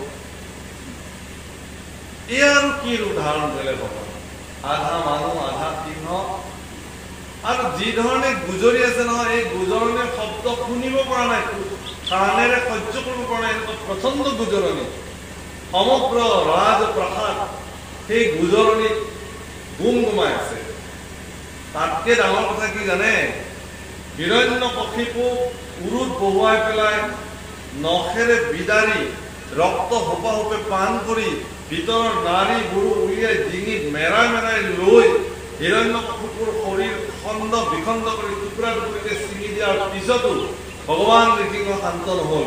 গুজৰি ফুৰিবলৈ ধৰিলে চাৰিওফালে। আৰু এই দৃশ্য দেখি ব্ৰহ্মা সৃষ্টিকৰ্তা ব্ৰহ্মা ভয়াক্ত হৈ গল যে হে ভগৱান। সেইকাৰণে তেওঁ কি কৰিলে? ব্ৰহ্মাদেৱে স্বয়ং লক্ষ্মী দেৱীৰ আগত স্তুতি কৰিলে প্ৰাৰ্থনা কৰিলে হে জগত জননী হে পতি পাৱনী হে জগত মাতা হে অন্নদাতা আই লক্ষ্মী তুমি তোমাৰ স্বামীৰ ক্ৰোধ সম্বৰণ কৰা নহলে আৰু কোনে কৰিব? তুমি ব্যতিৰেকে আৰু আজি এই কৰ্ম কোনেও সাধন কৰিব নোৱাৰে। আমি সমস্ত দেৱতাসকলে তোমাৰ চৰণত কৌটি কৌটি প্ৰাৰ্থনা জনাইছো। তুমি গৈ প্ৰভু নৃসিংহ মুৰাৰীক সন্তুষ্টি কৰোৱা আৰু এই ৰূপটো তেওঁ অতি শীঘ্ৰে সম্বৰণ কৰিব লাগে ইয়াৰ ব্যৱস্থা তুমি কৰা। লক্ষ্মীয়ে বোলে হ'ব মই যাওঁ। এই বুলি একদম ধুনীয়াকে আহিলে আহি দেখিলে যে বাপৰে ইমান ভয়ংকৰ ৰূপ। আধাৰ পৰা গুচি আহিলে ব্ৰহ্মা বোলে আই উভতি আহিলে যে। বোলে মোক কলে পঠিয়াইছিলে পঠিয়াইছিল বোলে নহয় নহয় মোৰ স্বামী এনেকুৱা নহয় মোৰ স্বামী ইমান সুন্দৰ আয়ৰ দেহি কি সুন্দৰ হাঁহি থাকে অনন্ত সজ্জাত শয়ন কৰি থাকে চৰণ যুগৰ পদু ফুলৰ দৰে মই যান্ত্ৰিক কৰি থাকো তাতে অধৰ ৰক্তিম ৰাতুল সাত ধাৰকে মালা পৰিধান কৰি থাকে শংকৰচক্ৰ গদাপদ্ম ধাৰণ কৰি থাকে শৰীৰত সমস্ত দেৱতাগণ আহি বিদ্যমান হৈ থাকে বাসুকীয়ে সুন্দৰকে ফনাৰে তেওঁ ছত্ৰ ধৰি থাকে। ইমান সুন্দৰ মোৰ স্বামী আৰু মই যাব নোৱাৰো। তাৰপিছত ব্ৰহ্মাদেৱে চিন্তা কৰিলে যে এই ৰূপ যিজনে আমন্ত্ৰণ কৰি আনিলে তেওঁকে ইয়াক সম্বৰণ কৰাৰ দায়িত্ব দিব। আৰু সেইকাৰণে প্ৰহ্লাদক এই দায়িত্ব ব্ৰহ্মাদেৱে অৰ্পণ কৰে। হে প্ৰহ্লাদ তুমি ভগৱানক আমন্ত্ৰণ কৰিলা আৰু এনেকুৱা ৰূপত আমন্ত্ৰণ কৰিলা যে এতিয়া সমস্ত জগত সমস্ত লোক ত্ৰাহি ত্ৰাহি দেখিছে গতিকে সমস্ত জগতক শান্তি প্ৰদান কৰিবৰ কাৰণে হে প্ৰহ্লাদ তুমি গৈ ভগৱান কৃষ্ণক কোৱাগে নৰসিংহ প্ৰভুৰ ৰূপ সম্বৰণ কৰিবৰ কাৰণে কোৱা। ব্ৰহ্মাৰ সাদৰী প্ৰহ্লাদে ধীৰে ধীৰে গৈলা চৰি ব্ৰহ্মাৰ বচন আৰু প্ৰহ্লাদে গৈ ভগৱান নৃসিংহ মুৰাৰীৰ দুখানি দণ্ডৱত প্ৰণিপাত কৰি কৈছে যে হে প্ৰভু যি কাৰণত ভক্তক ৰক্ষা কৰিবৰ নিমিত্তে তুমি এই অৱতাৰ ধাৰণ কৰিছিলা। তোমাৰ এই অৱতাৰ তুমি এতিয়া সংবৰণ কৰিব লাগে। এই অৱতাৰৰ আৰু প্ৰয়োজন ভক্ত প্ৰহ্লাদৰ বাক্য শুনি ভগৱান শ্ৰীনাৰায়ণে তেওঁৰ সেই ভয়ংকৰ ৰূপ নৃসিংহ অৱতাৰ সম্বৰণ আৰু প্ৰহ্লাদক কৈছে যে হে প্ৰহ্লাদ তোমাৰ এই যি ভক্তি কিহৰ কাৰণে প্ৰহ্লাদৰ ভক্তি পৰীক্ষিত হল প্ৰমাণিত হল? যে স্বয়ং মোৰ ভাৰ্য লক্ষ্মীও আজি মোৰ কাষলৈ আহিব পৰা নাই। কিহৰ কাৰণে? ভয় ব্ৰহ্মা আদি দেৱতাসকলে মোৰ কাষলৈ আহিব পৰা নাই। কিহৰ কাৰণে? ভয়। জানো চা তেওঁলোকক মই কিবা কৰোৱে। কিন্তু সেই ভয় তোমাৰ নাই। কিয় নাই? প্ৰহ্লাদক সুধিছে ভগৱান যে কি কাৰণত তোমাৰ ভয় লগা নাই? মোৰ এই ভয়ংকৰ ৰূপ দেখি তোমাৰ ভয় লগা নাই প্ৰহ্লাদে কৈছে হে প্ৰভু তজুইটো ভয়ংকৰ ৰূপ দেখি তাতো মোৰ নাই বিষয় সংসাৰৰ ৰূপ দেখি তাতো ধাতু সংসাৰৰ যিটো বিষয় সংসাৰৰ যিটো ভয়ংকৰ ৰূপ তাতকৈও ভয় মোৰ তাতেহে জীৱ গায় গতিকে হে ভগৱান এই বিষয় সংসাৰৰ প্ৰভাৱত যাতে আমি থাকিব নালাগে তাৰ পৰা মোক উদ্ধাৰ কৰা বাকী তোমাৰ যিটো মানে ৰূপ সেই ৰূপটো মোৰ কাৰণে ভয়ংকৰ ৰূপ নহয় গতিকে প্ৰহ্লাদৰ এই দৃঢ়তা দেখি ভগৱান তেওঁৰ প্ৰতি সন্তুষ্টি হল। আৰু তেওঁক কলে যে তোমাক তুমি বৰ লোৱা কৰা। কি লাগে কোৱা? কৈছে কি লাগে কোৱা? আজ্ঞা কৰা। প্ৰহ্লাদে কৈছে প্ৰভু এইবিলাক মালিকৰ কাম নহয় নহয় বা ভিতৰহে কাম। আচলতে মালিকৰ কামহে আজ্ঞা কৰা। ভৃত্যবিলাকে কৰে এই পানী লৈ আহ। ভৃত্যক কব ভৃত্যই লৈ আহিব মালিক পানী। কিবা বিচৰাটো মালিকৰহে কাম। ভৃত্যবিলাকে বিচাৰিব নোৱাৰে নহয়। মইতো মালিক নহয় তোমাৰ। মই তোমাৰ ভৃত্যহে গতিকে মই কেনেকে তোমাক কিবা লাগে বুলি কম? তুমিহে মোক কবা কিবা লাগে নেকি তোমাক?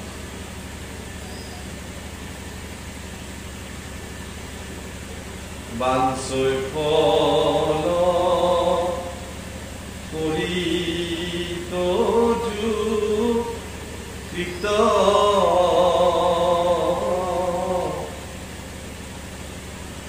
কিতু বাণী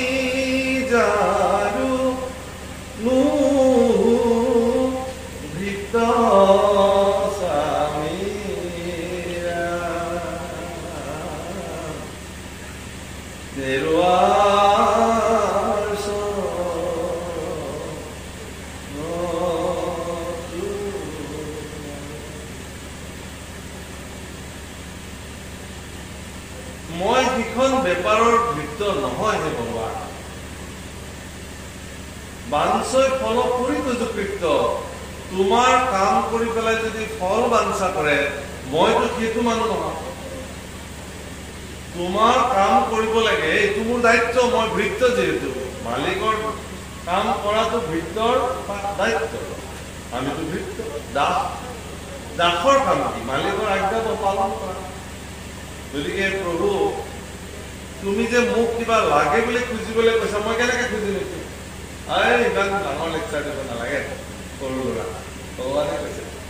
সকলোৱে খোজে তইও খোজ আজি। সকলোৱে খোজে কোনেও নোখোজাকে থাকে চবেই দেখোন খোজে মোক। সকলোৱে মোৰ পৰা বিচাৰে। তইনো কিয় নিবিচাৰ? বিচাৰ কি লাগে? নাই মোক একোৱেই নালাগে। মোক একো বস্তুৰে প্ৰয়োজন নাই। মোৰ জীৱন ধন্য হৈ গল। যে তুমি মোৰ কাৰণে মোৰ সন্মুখত প্ৰকট হৈ দিলা। আৰু কি লাগিছে মোক ইয়াত? বোলে এইটো মোৰ আজ্ঞা লোৱা কি লাগে? আৰু এইবাৰতো আজ্ঞাই হৈ গল। আজ্ঞাটো পালনে কৰিব লাগিব? বিচাৰিছে কি? তোমাকো নিন দিলে পিতৃ মূৰ সিজিল পাতাকো মহাঘূৰ তাতো হন্তে পিতৃ নিষ্ঠা ৰূপ। এটাকো কথা আছে যে মোৰ পিতৃয়ে তোমাক বহুত নিন্দা কৰিলে। তাৰ কাৰণে তেওঁৰ অনেক পাপ হ'ল। সেই সমস্ত পাপৰ পৰা মোৰ পিতৃ উদ্ধাৰ হব। এইখিনি প্ৰসাদ হ'ব। মোৰ কাৰণে সেই প্ৰভুকলাসকল মই এইকাৰণেই কথাখিনি কলো যে ভগৱানৰ ওচৰত গৈ নিজৰ কাৰণে কিবা বিচৰাতকে আনৰ কাৰণে বিচাৰিব আনন্দ লাগে। আৰু ভগৱানে তেনেকুৱা প্ৰাৰ্থনা ভাল যে হে প্ৰভু। সমস্ত জীৱ জগতক তুমি তোমাৰ কৃপাৰে ধন্য কৰি ৰাখা। সেইখিনি কাৰণে তোমাৰ চৰণ মই এতিয়া সমস্ত জীৱ জগতৰ কল্যাণ কৰা বুলি কলে ভগৱানে কি সেই তালিকাখনৰ পৰা আপোনাক বাদ দিব নেকি? সেইখন তালিকাৰ পৰা আপোনাক ভগৱানে কেতিয়াও বাদ নিদিয়ে। আপুনিও সেইখন তালিকাত আছে। কিন্তু আপুনি যেতিয়া মোৰ মোৰ বুলি খুজিব মোক দিয়া তেতিয়া কিন্তু জগতৰ সকলো জীৱ সেই আপোনাৰ তালিকাখনৰ পৰা নিজে নিজে বাদ কৰিব আৰু ভগৱানে এনেকুৱা অসামূহিক স্বাৰ্থ অসামূহিক প্ৰাৰ্থনাত কেতিয়াও স্বীকাৰ আৰু সেই কথাটোকে ইয়াতে কৈছে যে যিসকল মংগলময় ভক্ত তেওঁলোকে ভগৱানক স্বাৰ্থপৰভাৱে নিবিচাৰে। নিস্বাৰ্থভাৱে সমস্ত জীৱ জগতৰ কল্যাণৰ কাৰণে তেওঁলোকে জীৱনত প্ৰাৰ্থনা কৰে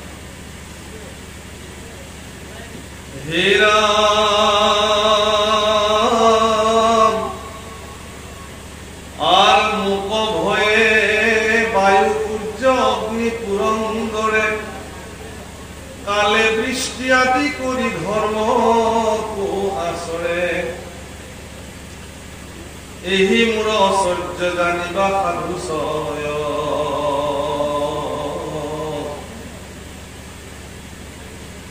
କୁଶଲର ଅର୍ଥେ ମୋର ଶରଣ ଭଜ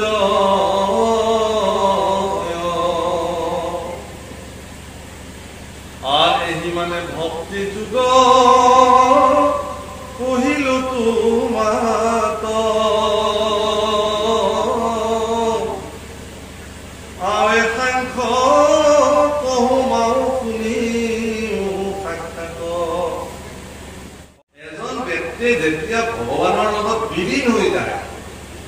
ভগৱানৰ মহিমাৰ লগত যেতিয়া ব্যক্তি এজন বিলীন হৈ যায় তেতিয়া তেওঁৰ দৃষ্টি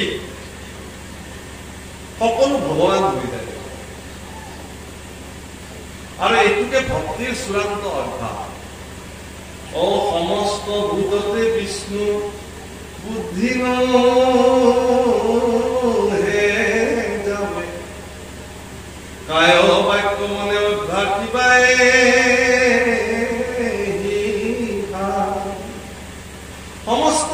যেতিয়ালৈকে বিষ্ণু বুদ্ধি নহয় তেতিয়ালৈকে আপুনি এই অভ্যাস কৰিব লাগিব আমাৰ সমাজ ব্যৱস্থাবিলাকত এটা বিভ্ৰান্তি হৈছে মহাপূজা ধৰ্ম ব্যৱস্থা প্ৰভুসকল লাহে লাহে আৰম্ভ হৈছে সমাজবিলাকৰ মাজত সেইকাৰণে ফাট মেলিবলৈ আৰম্ভ কৰিছে আজিকালি কিছুমান ভাগৱত বক্তাই ভাগৱত ব্যাখ্যাৰ মাজতে অন্য দেৱ দেৱী সেৱাৰ ক্ষেত্ৰত খুব অৰুচিপূৰ্ণ আৰু বিকৃত ব্যাখ্যা আগবঢ়াবলৈ আৰম্ভ তুচ্ছ তাচ্ছিল্য এনেকুৱা কথা ক'বলৈ আৰম্ভ কৰিছে কিন্তু মই তেওঁলোকৰ প্ৰতি অনুৰোধ কৰিব খুজিছো যে কাৰো আস্থাৰ প্ৰতি অৱজ্ঞা কৰাটো উচিত নহয় যিয়ে যি ধৰণে ভগৱানক বুজিছে সেই ধৰণে বুজিবলৈ দিয়ক আপুনি তাত হস্তক্ষেপ কৰাৰ কোনো প্ৰয়োজন নাই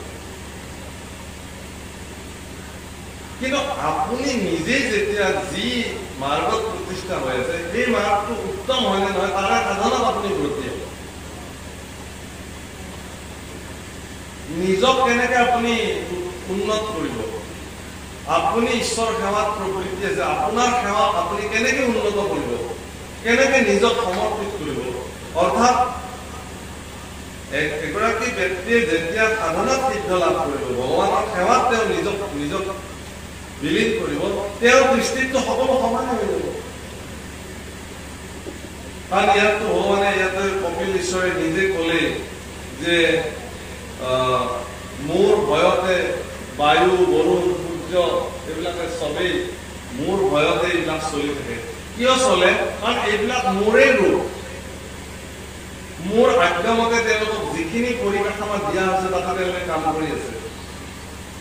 বায়ুৰ যিখিনি দায়িত্ব তেওঁ পালন কৰিছে ঈশ্বৰৰ আজ্ঞা সূৰ্যক যি দায়িত্ব দিছে তেওঁ সেয়া পালন কৰিছে। ইন্দ্ৰক যি দায়িত্ব দিছে সেয়া তেওঁ পালন কৰিছে। গতিকে প্ৰত্যেকে নিজৰ নিজৰ দায়িত্ব পালন কৰিছে। সকলো ঈশ্বৰৰ সেৱাতে প্ৰকৃত অ হয়। এশৰণ হৰিনাথ ধৰ্ম মহাপুৰুষ শংকৰ মাধৱ দুজনা গুৰুৱে এক ভগৱান কৃষ্ণকে সমৰ্পিত হবৰ কাৰণে কৈছে গতিকে আপুনি সৰ্বধৰ্মানম পৰিত্যাজ্য মাম একম চৰণ কৰি যাওক সমস্ত পৰিত্যাগ কৰি মোৰ চৰণতে শৰণ গ্ৰহণ কৰা বুলি কৈছে গীতাটো কৈছে আৰু ভাগৱততো একাদশ স্কন্ধত উদ্ধৱৰ আগত পোৱাৰ লেখীয়াকে অজুহাতত ভগৱান কৃষ্ণ সমস্ত জীৱ জগতক এই আজ্ঞা প্ৰদান কৰিছে কিন্তু ইয়াৰ অৰ্থ এইটো নহয় যে আপুনি এক ঈশ্বৰক সমৰ্পিত হৈ কোনোবা অইনে কৰা কোনোবা পূজা সেৱা আপুনি তুচ্ছ কৰিব। অৱজ্ঞাসূচক বাক্য কৰিব। ইয়াত কিন্তু মই একমত। আৰু মোৰ অনুগামী সকলোকে মই প্ৰাৰ্থনা কৰো। আমাৰ সত্ৰত যিবিলাকে আমাৰ ওচৰত আহি শৰণ গ্ৰহণ কৰিছে সেইসকলৰ প্ৰতি মই কথা কওঁ। যে আনৰ আস্থাৰ প্ৰতি মানে অসন্মান সূচক কথা কোৱাটো আমাৰ কিন্তু উদ্দেশ্য হ'ব আমাৰ স্পষ্ট নীতি যে আমি ভগৱান কৃষ্ণকে সৰ্বে সৰ্ব মানি স্বামী ৰাম নেৰুৱাৰ চৰণ তোমাৰ বুলি। তোমাৰ গোসানী চৰণতে নিজক সমৰ্পিত কৰিছো এইটোৱে হ'ল আমাৰ মূল কোনে কি কৰিছে? অ আপোনাৰ আদৰ্শ যদি শ্ৰেষ্ঠ হয় আপোনাৰ আদৰ্শ যদি গ্ৰহণযোগ্য হয় তেতিয়াহ'লে আপোনাক দেখি আপোনাৰ ওচৰে পাজৰে থকা দহজনে এদিন আপোনাৰ প্ৰতি নিজে আকৃষ্ট।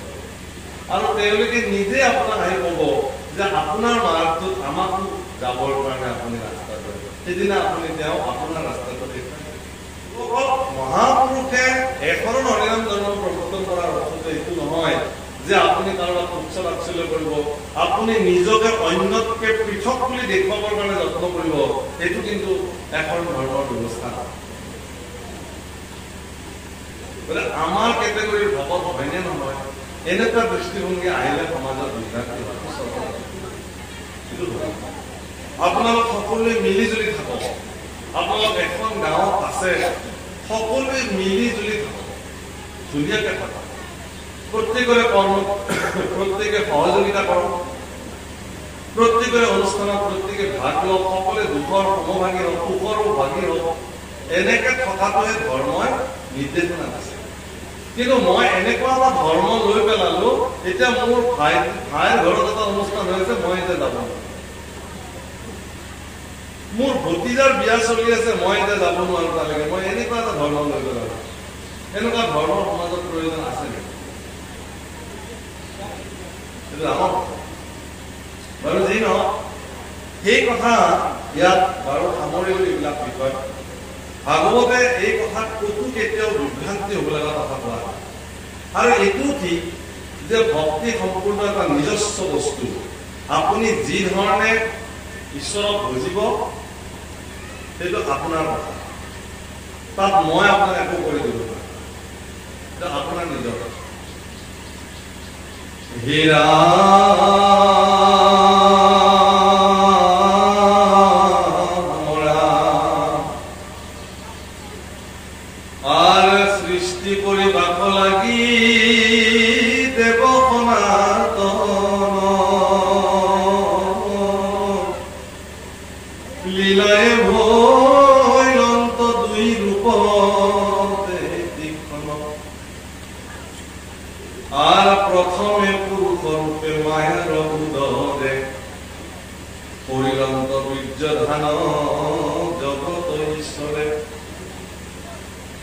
জন্মায় মহামায়া।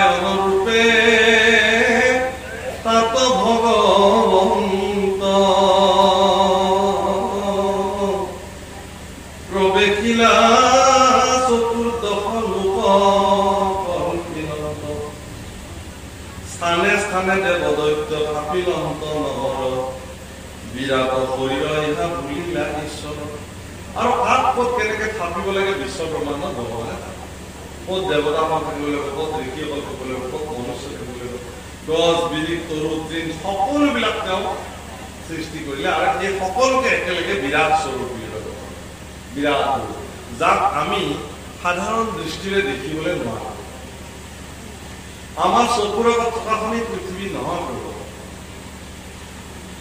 পৃথিৱীখন বহুত দৃষ্টি তাক দেখিবলৈ আমি পৃথিৱীত থাকি পেলাই এই চর্ম চক্ষুরে আমি গোটেই পৃথিবীর অস্তিত্ব দেখব নোহার তার কারণে দিব্য দৃষ্টি প্রয়োজন দিব্য দৃষ্টি ভগবন্তৰ পৰা কৃপাতেই ব্যক্তিসকল প্ৰাপ্ত হয় তেওঁলোকে দেখে গতিকে আপুনি মননশীল দৃষ্টিভংগীৰে যেতিয়া দিব্য দৃষ্টিৰে চাব ভগৱানক সেই বিৰাট স্বৰূপ দেখিব নহ'লে ভিন্ন ভিন্ন আপুনি দেখি দেখিব সকলোতে ভিন্নতা নাই আমি বেলেগ তেওঁ বেলেগ স্ত্ৰী বেলেগ পুৰুষ বেলেগ যিবিলাক দিব্য দৃষ্টি সম্পন্ন পুৰুষ সিদ্ধ পুৰুষ নিৰ্গুণবাদী পুৰুষ তেওঁলোকৰ কাৰণেতো পুৰুষ আৰু স্ত্ৰীৰো ভিন্নতা নাজানে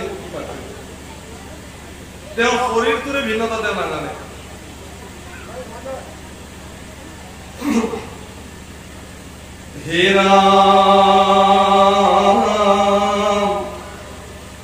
ইটো কথা দেহাতো জীৱ দিয়া মন সাংখ্য প্ৰথমা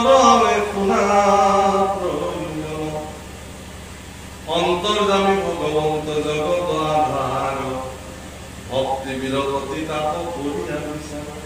এই কথাখিনি শৰীৰতে দেখিবৰ কাৰণে কৈছে যে যদি আপুনি ইচ্ছা কৰে তেতিয়াহ'লে এই বাহিৰৰ বিশ্ব ব্ৰহ্মাণ্ডখন সূক্ষ্ম ৰূপত আপোনাৰ শৰীৰৰ ভিতৰতে আপুনি দেখিব পাৰে আনকি ময়ো মই নহয় ময়ো তুমি মোৰ এই ক্ষুদ্ৰ শৰীৰটো তোমাৰ মোৰ নহয় মোৰ বুলিবলৈ একোৱেই নাই। ভিন্নতা। নাথাকে গতিকে কিন্তু শৰীৰতে চাবলৈ গৈছে ক্ষুদ্ৰ ব্ৰহ্মাণ্ড বাহিৰত যি আছে ইয়াতে চব আছে।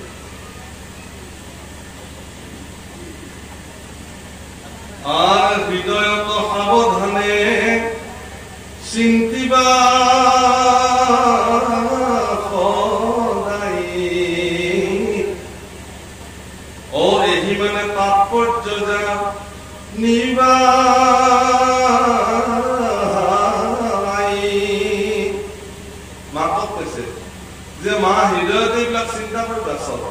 তোমার ভিতরতে সব আছে।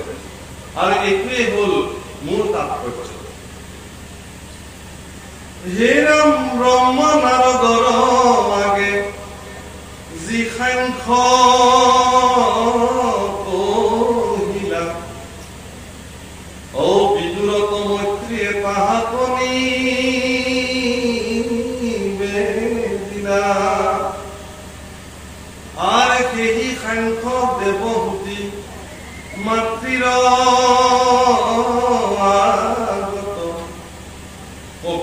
সবে আমি করিলাম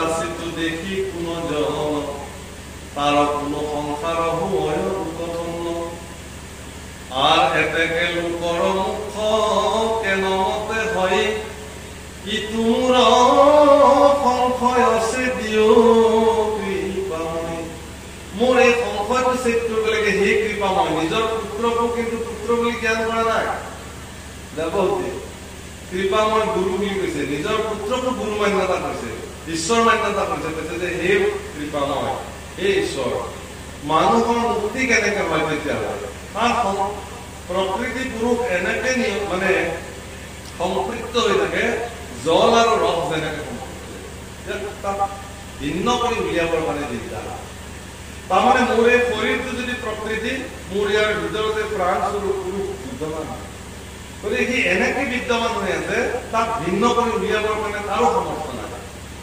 কিন্তু যিদিনাখনে এই প্ৰাণ এই তুচ্ছ শৰীৰটো পৰিত্যাগ কৰি গুচি যাব সেই তৎমুহূৰ্তৰ পৰা এই শৰীৰটো গেলিবলৈ আৰম্ভ কৰিব। নিষ্কৰ্ম হৈ যাব। তাৰ কোনো কামেই নাই।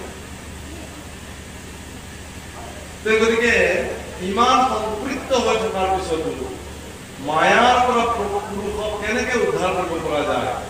কেনেকে মুখ্য প্ৰাপ্তি হব পৰা যায় এই সম্পৰ্কে মই জানিব খুজিছো। মোক আৰ এতে কেখা ধন বহু শুনা কৰি মন একান্ত সাধুৰ সংগ লৈও সাধনাৰ সম্পৰ্কে কৈছে। সাধন সম্পৰ্কে আপোনালোকক কৈছে কি কি সাধনা কৰিলে আপুনি মুখ্য প্ৰাপ্তি হব? প্ৰথমতে কৈছে একান্ত ভক্তৰ বা সাধুজনৰ সংগ ল'বলৈ কৈছে। আৰু মোৰ গুণনাম কীৰ্তন তেওঁলোকৰ সংগত থাকি কৰিবলৈ এইটো সাধনাৰ প্ৰথম আৰু চিৰকালৰ মূৰ গুণ নাম যিটো কীৰ্তন কৰয় চিৰকাল কথা শুনি ভক্তি বঢ়ায় আন হব সাধনা আশ্ৰয় মায়া ককৰীয়া তাৰা মহু কপায় আৰু ইয়াৰ সমসাময়িকভাৱে আৰু যদি কিবা সাধনা আছে সম্পাদন সাধু সংগতো কৰিবই। সাধু সংগ হৰি কীৰ্তন কৰিবই। তাৰ ওপৰঞ্চি যদি কিবা সাধনা আছে সেয়াও তেওঁ কৰি। তেওঁ মোক প্ৰাপ্তি হে ৰাম ভকতি যুগত পূৰ্বে সংক্ষেপে কহিলো বিস্তৰ কৰিয়া কোনো আৰু শুনা বৈষ্ণৱ অষ্টাংগ যুগ আই। ঈশ্বৰৰ ধ্যান সমে পঢ়ি পুৰুষে আতি কৰি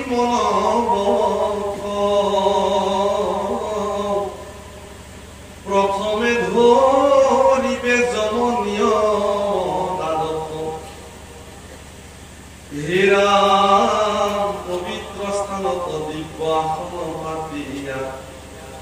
পৰিৱেশ প্ৰাণায়াম তাহাতে বকীয়া বৈকুণ্ঠৰ লীলা ধ্যান কৰি ঘনে ঘন। মনৰ মলক হবে কৰিবে কচন। মন যেবে সাৱধান হৈলে কলা খিলিয়া নাসিকাৰ অগ্ৰে দেৱে দৃষ্টি কৰাকিয়া চিন্তিবে ঈশ্বৰৰ ৰূপ বিদূপন সেই ৰূপ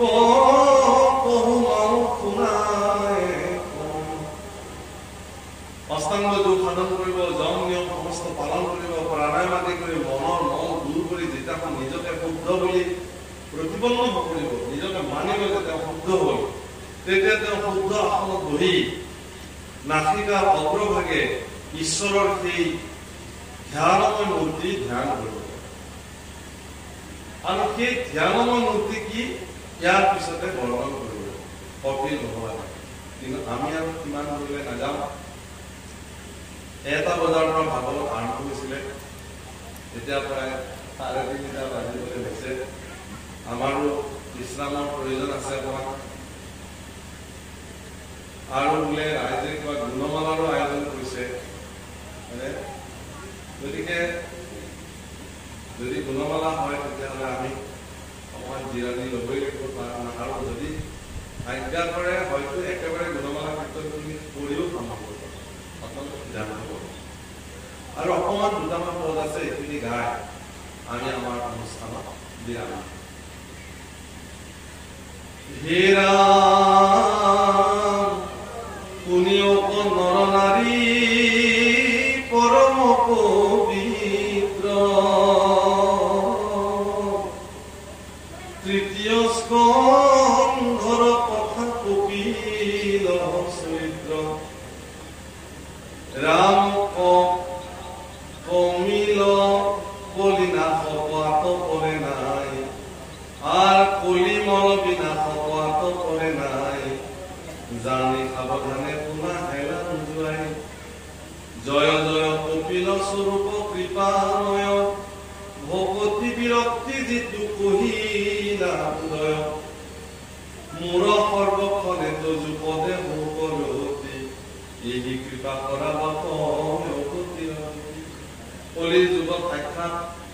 আপোনাক সবে শ্ৰৱণ কৰিব পাৰিলে যে মাতৃ দেৱহতীৰ সন্মুখত তেওঁৰ পুত্ৰ স্বয়ং ভগৱান কপিল স্বৰূপে ভক্তিৰ স্বৰূপ জ্ঞানৰ স্বৰূপ মুক্তিৰ পথ আদি সকলো কথা বিস্তৃতভাৱে বৰ্ণনা কৰিছে।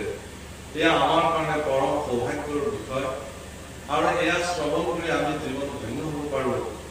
আৰু আজি এই ৰাইজ মৰিগাঁৱৰ আপোনালোকে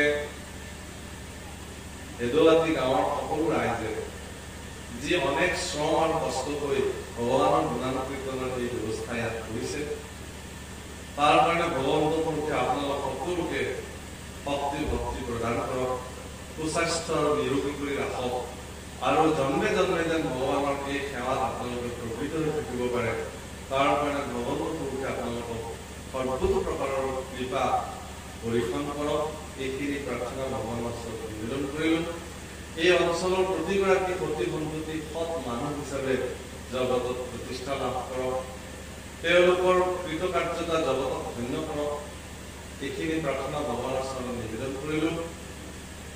আৰু আমাৰ হ'ব পৰা পঢ়া শুনা সকলো আপোনালোকৰ দাস হিচাপে সমষ্টৰ চৰণত পৰৱৰ্তী মাৰ্জনা বিচাৰিছোঁ আপোনালোকে বৃত্ত হেনে জানি tambah juga baru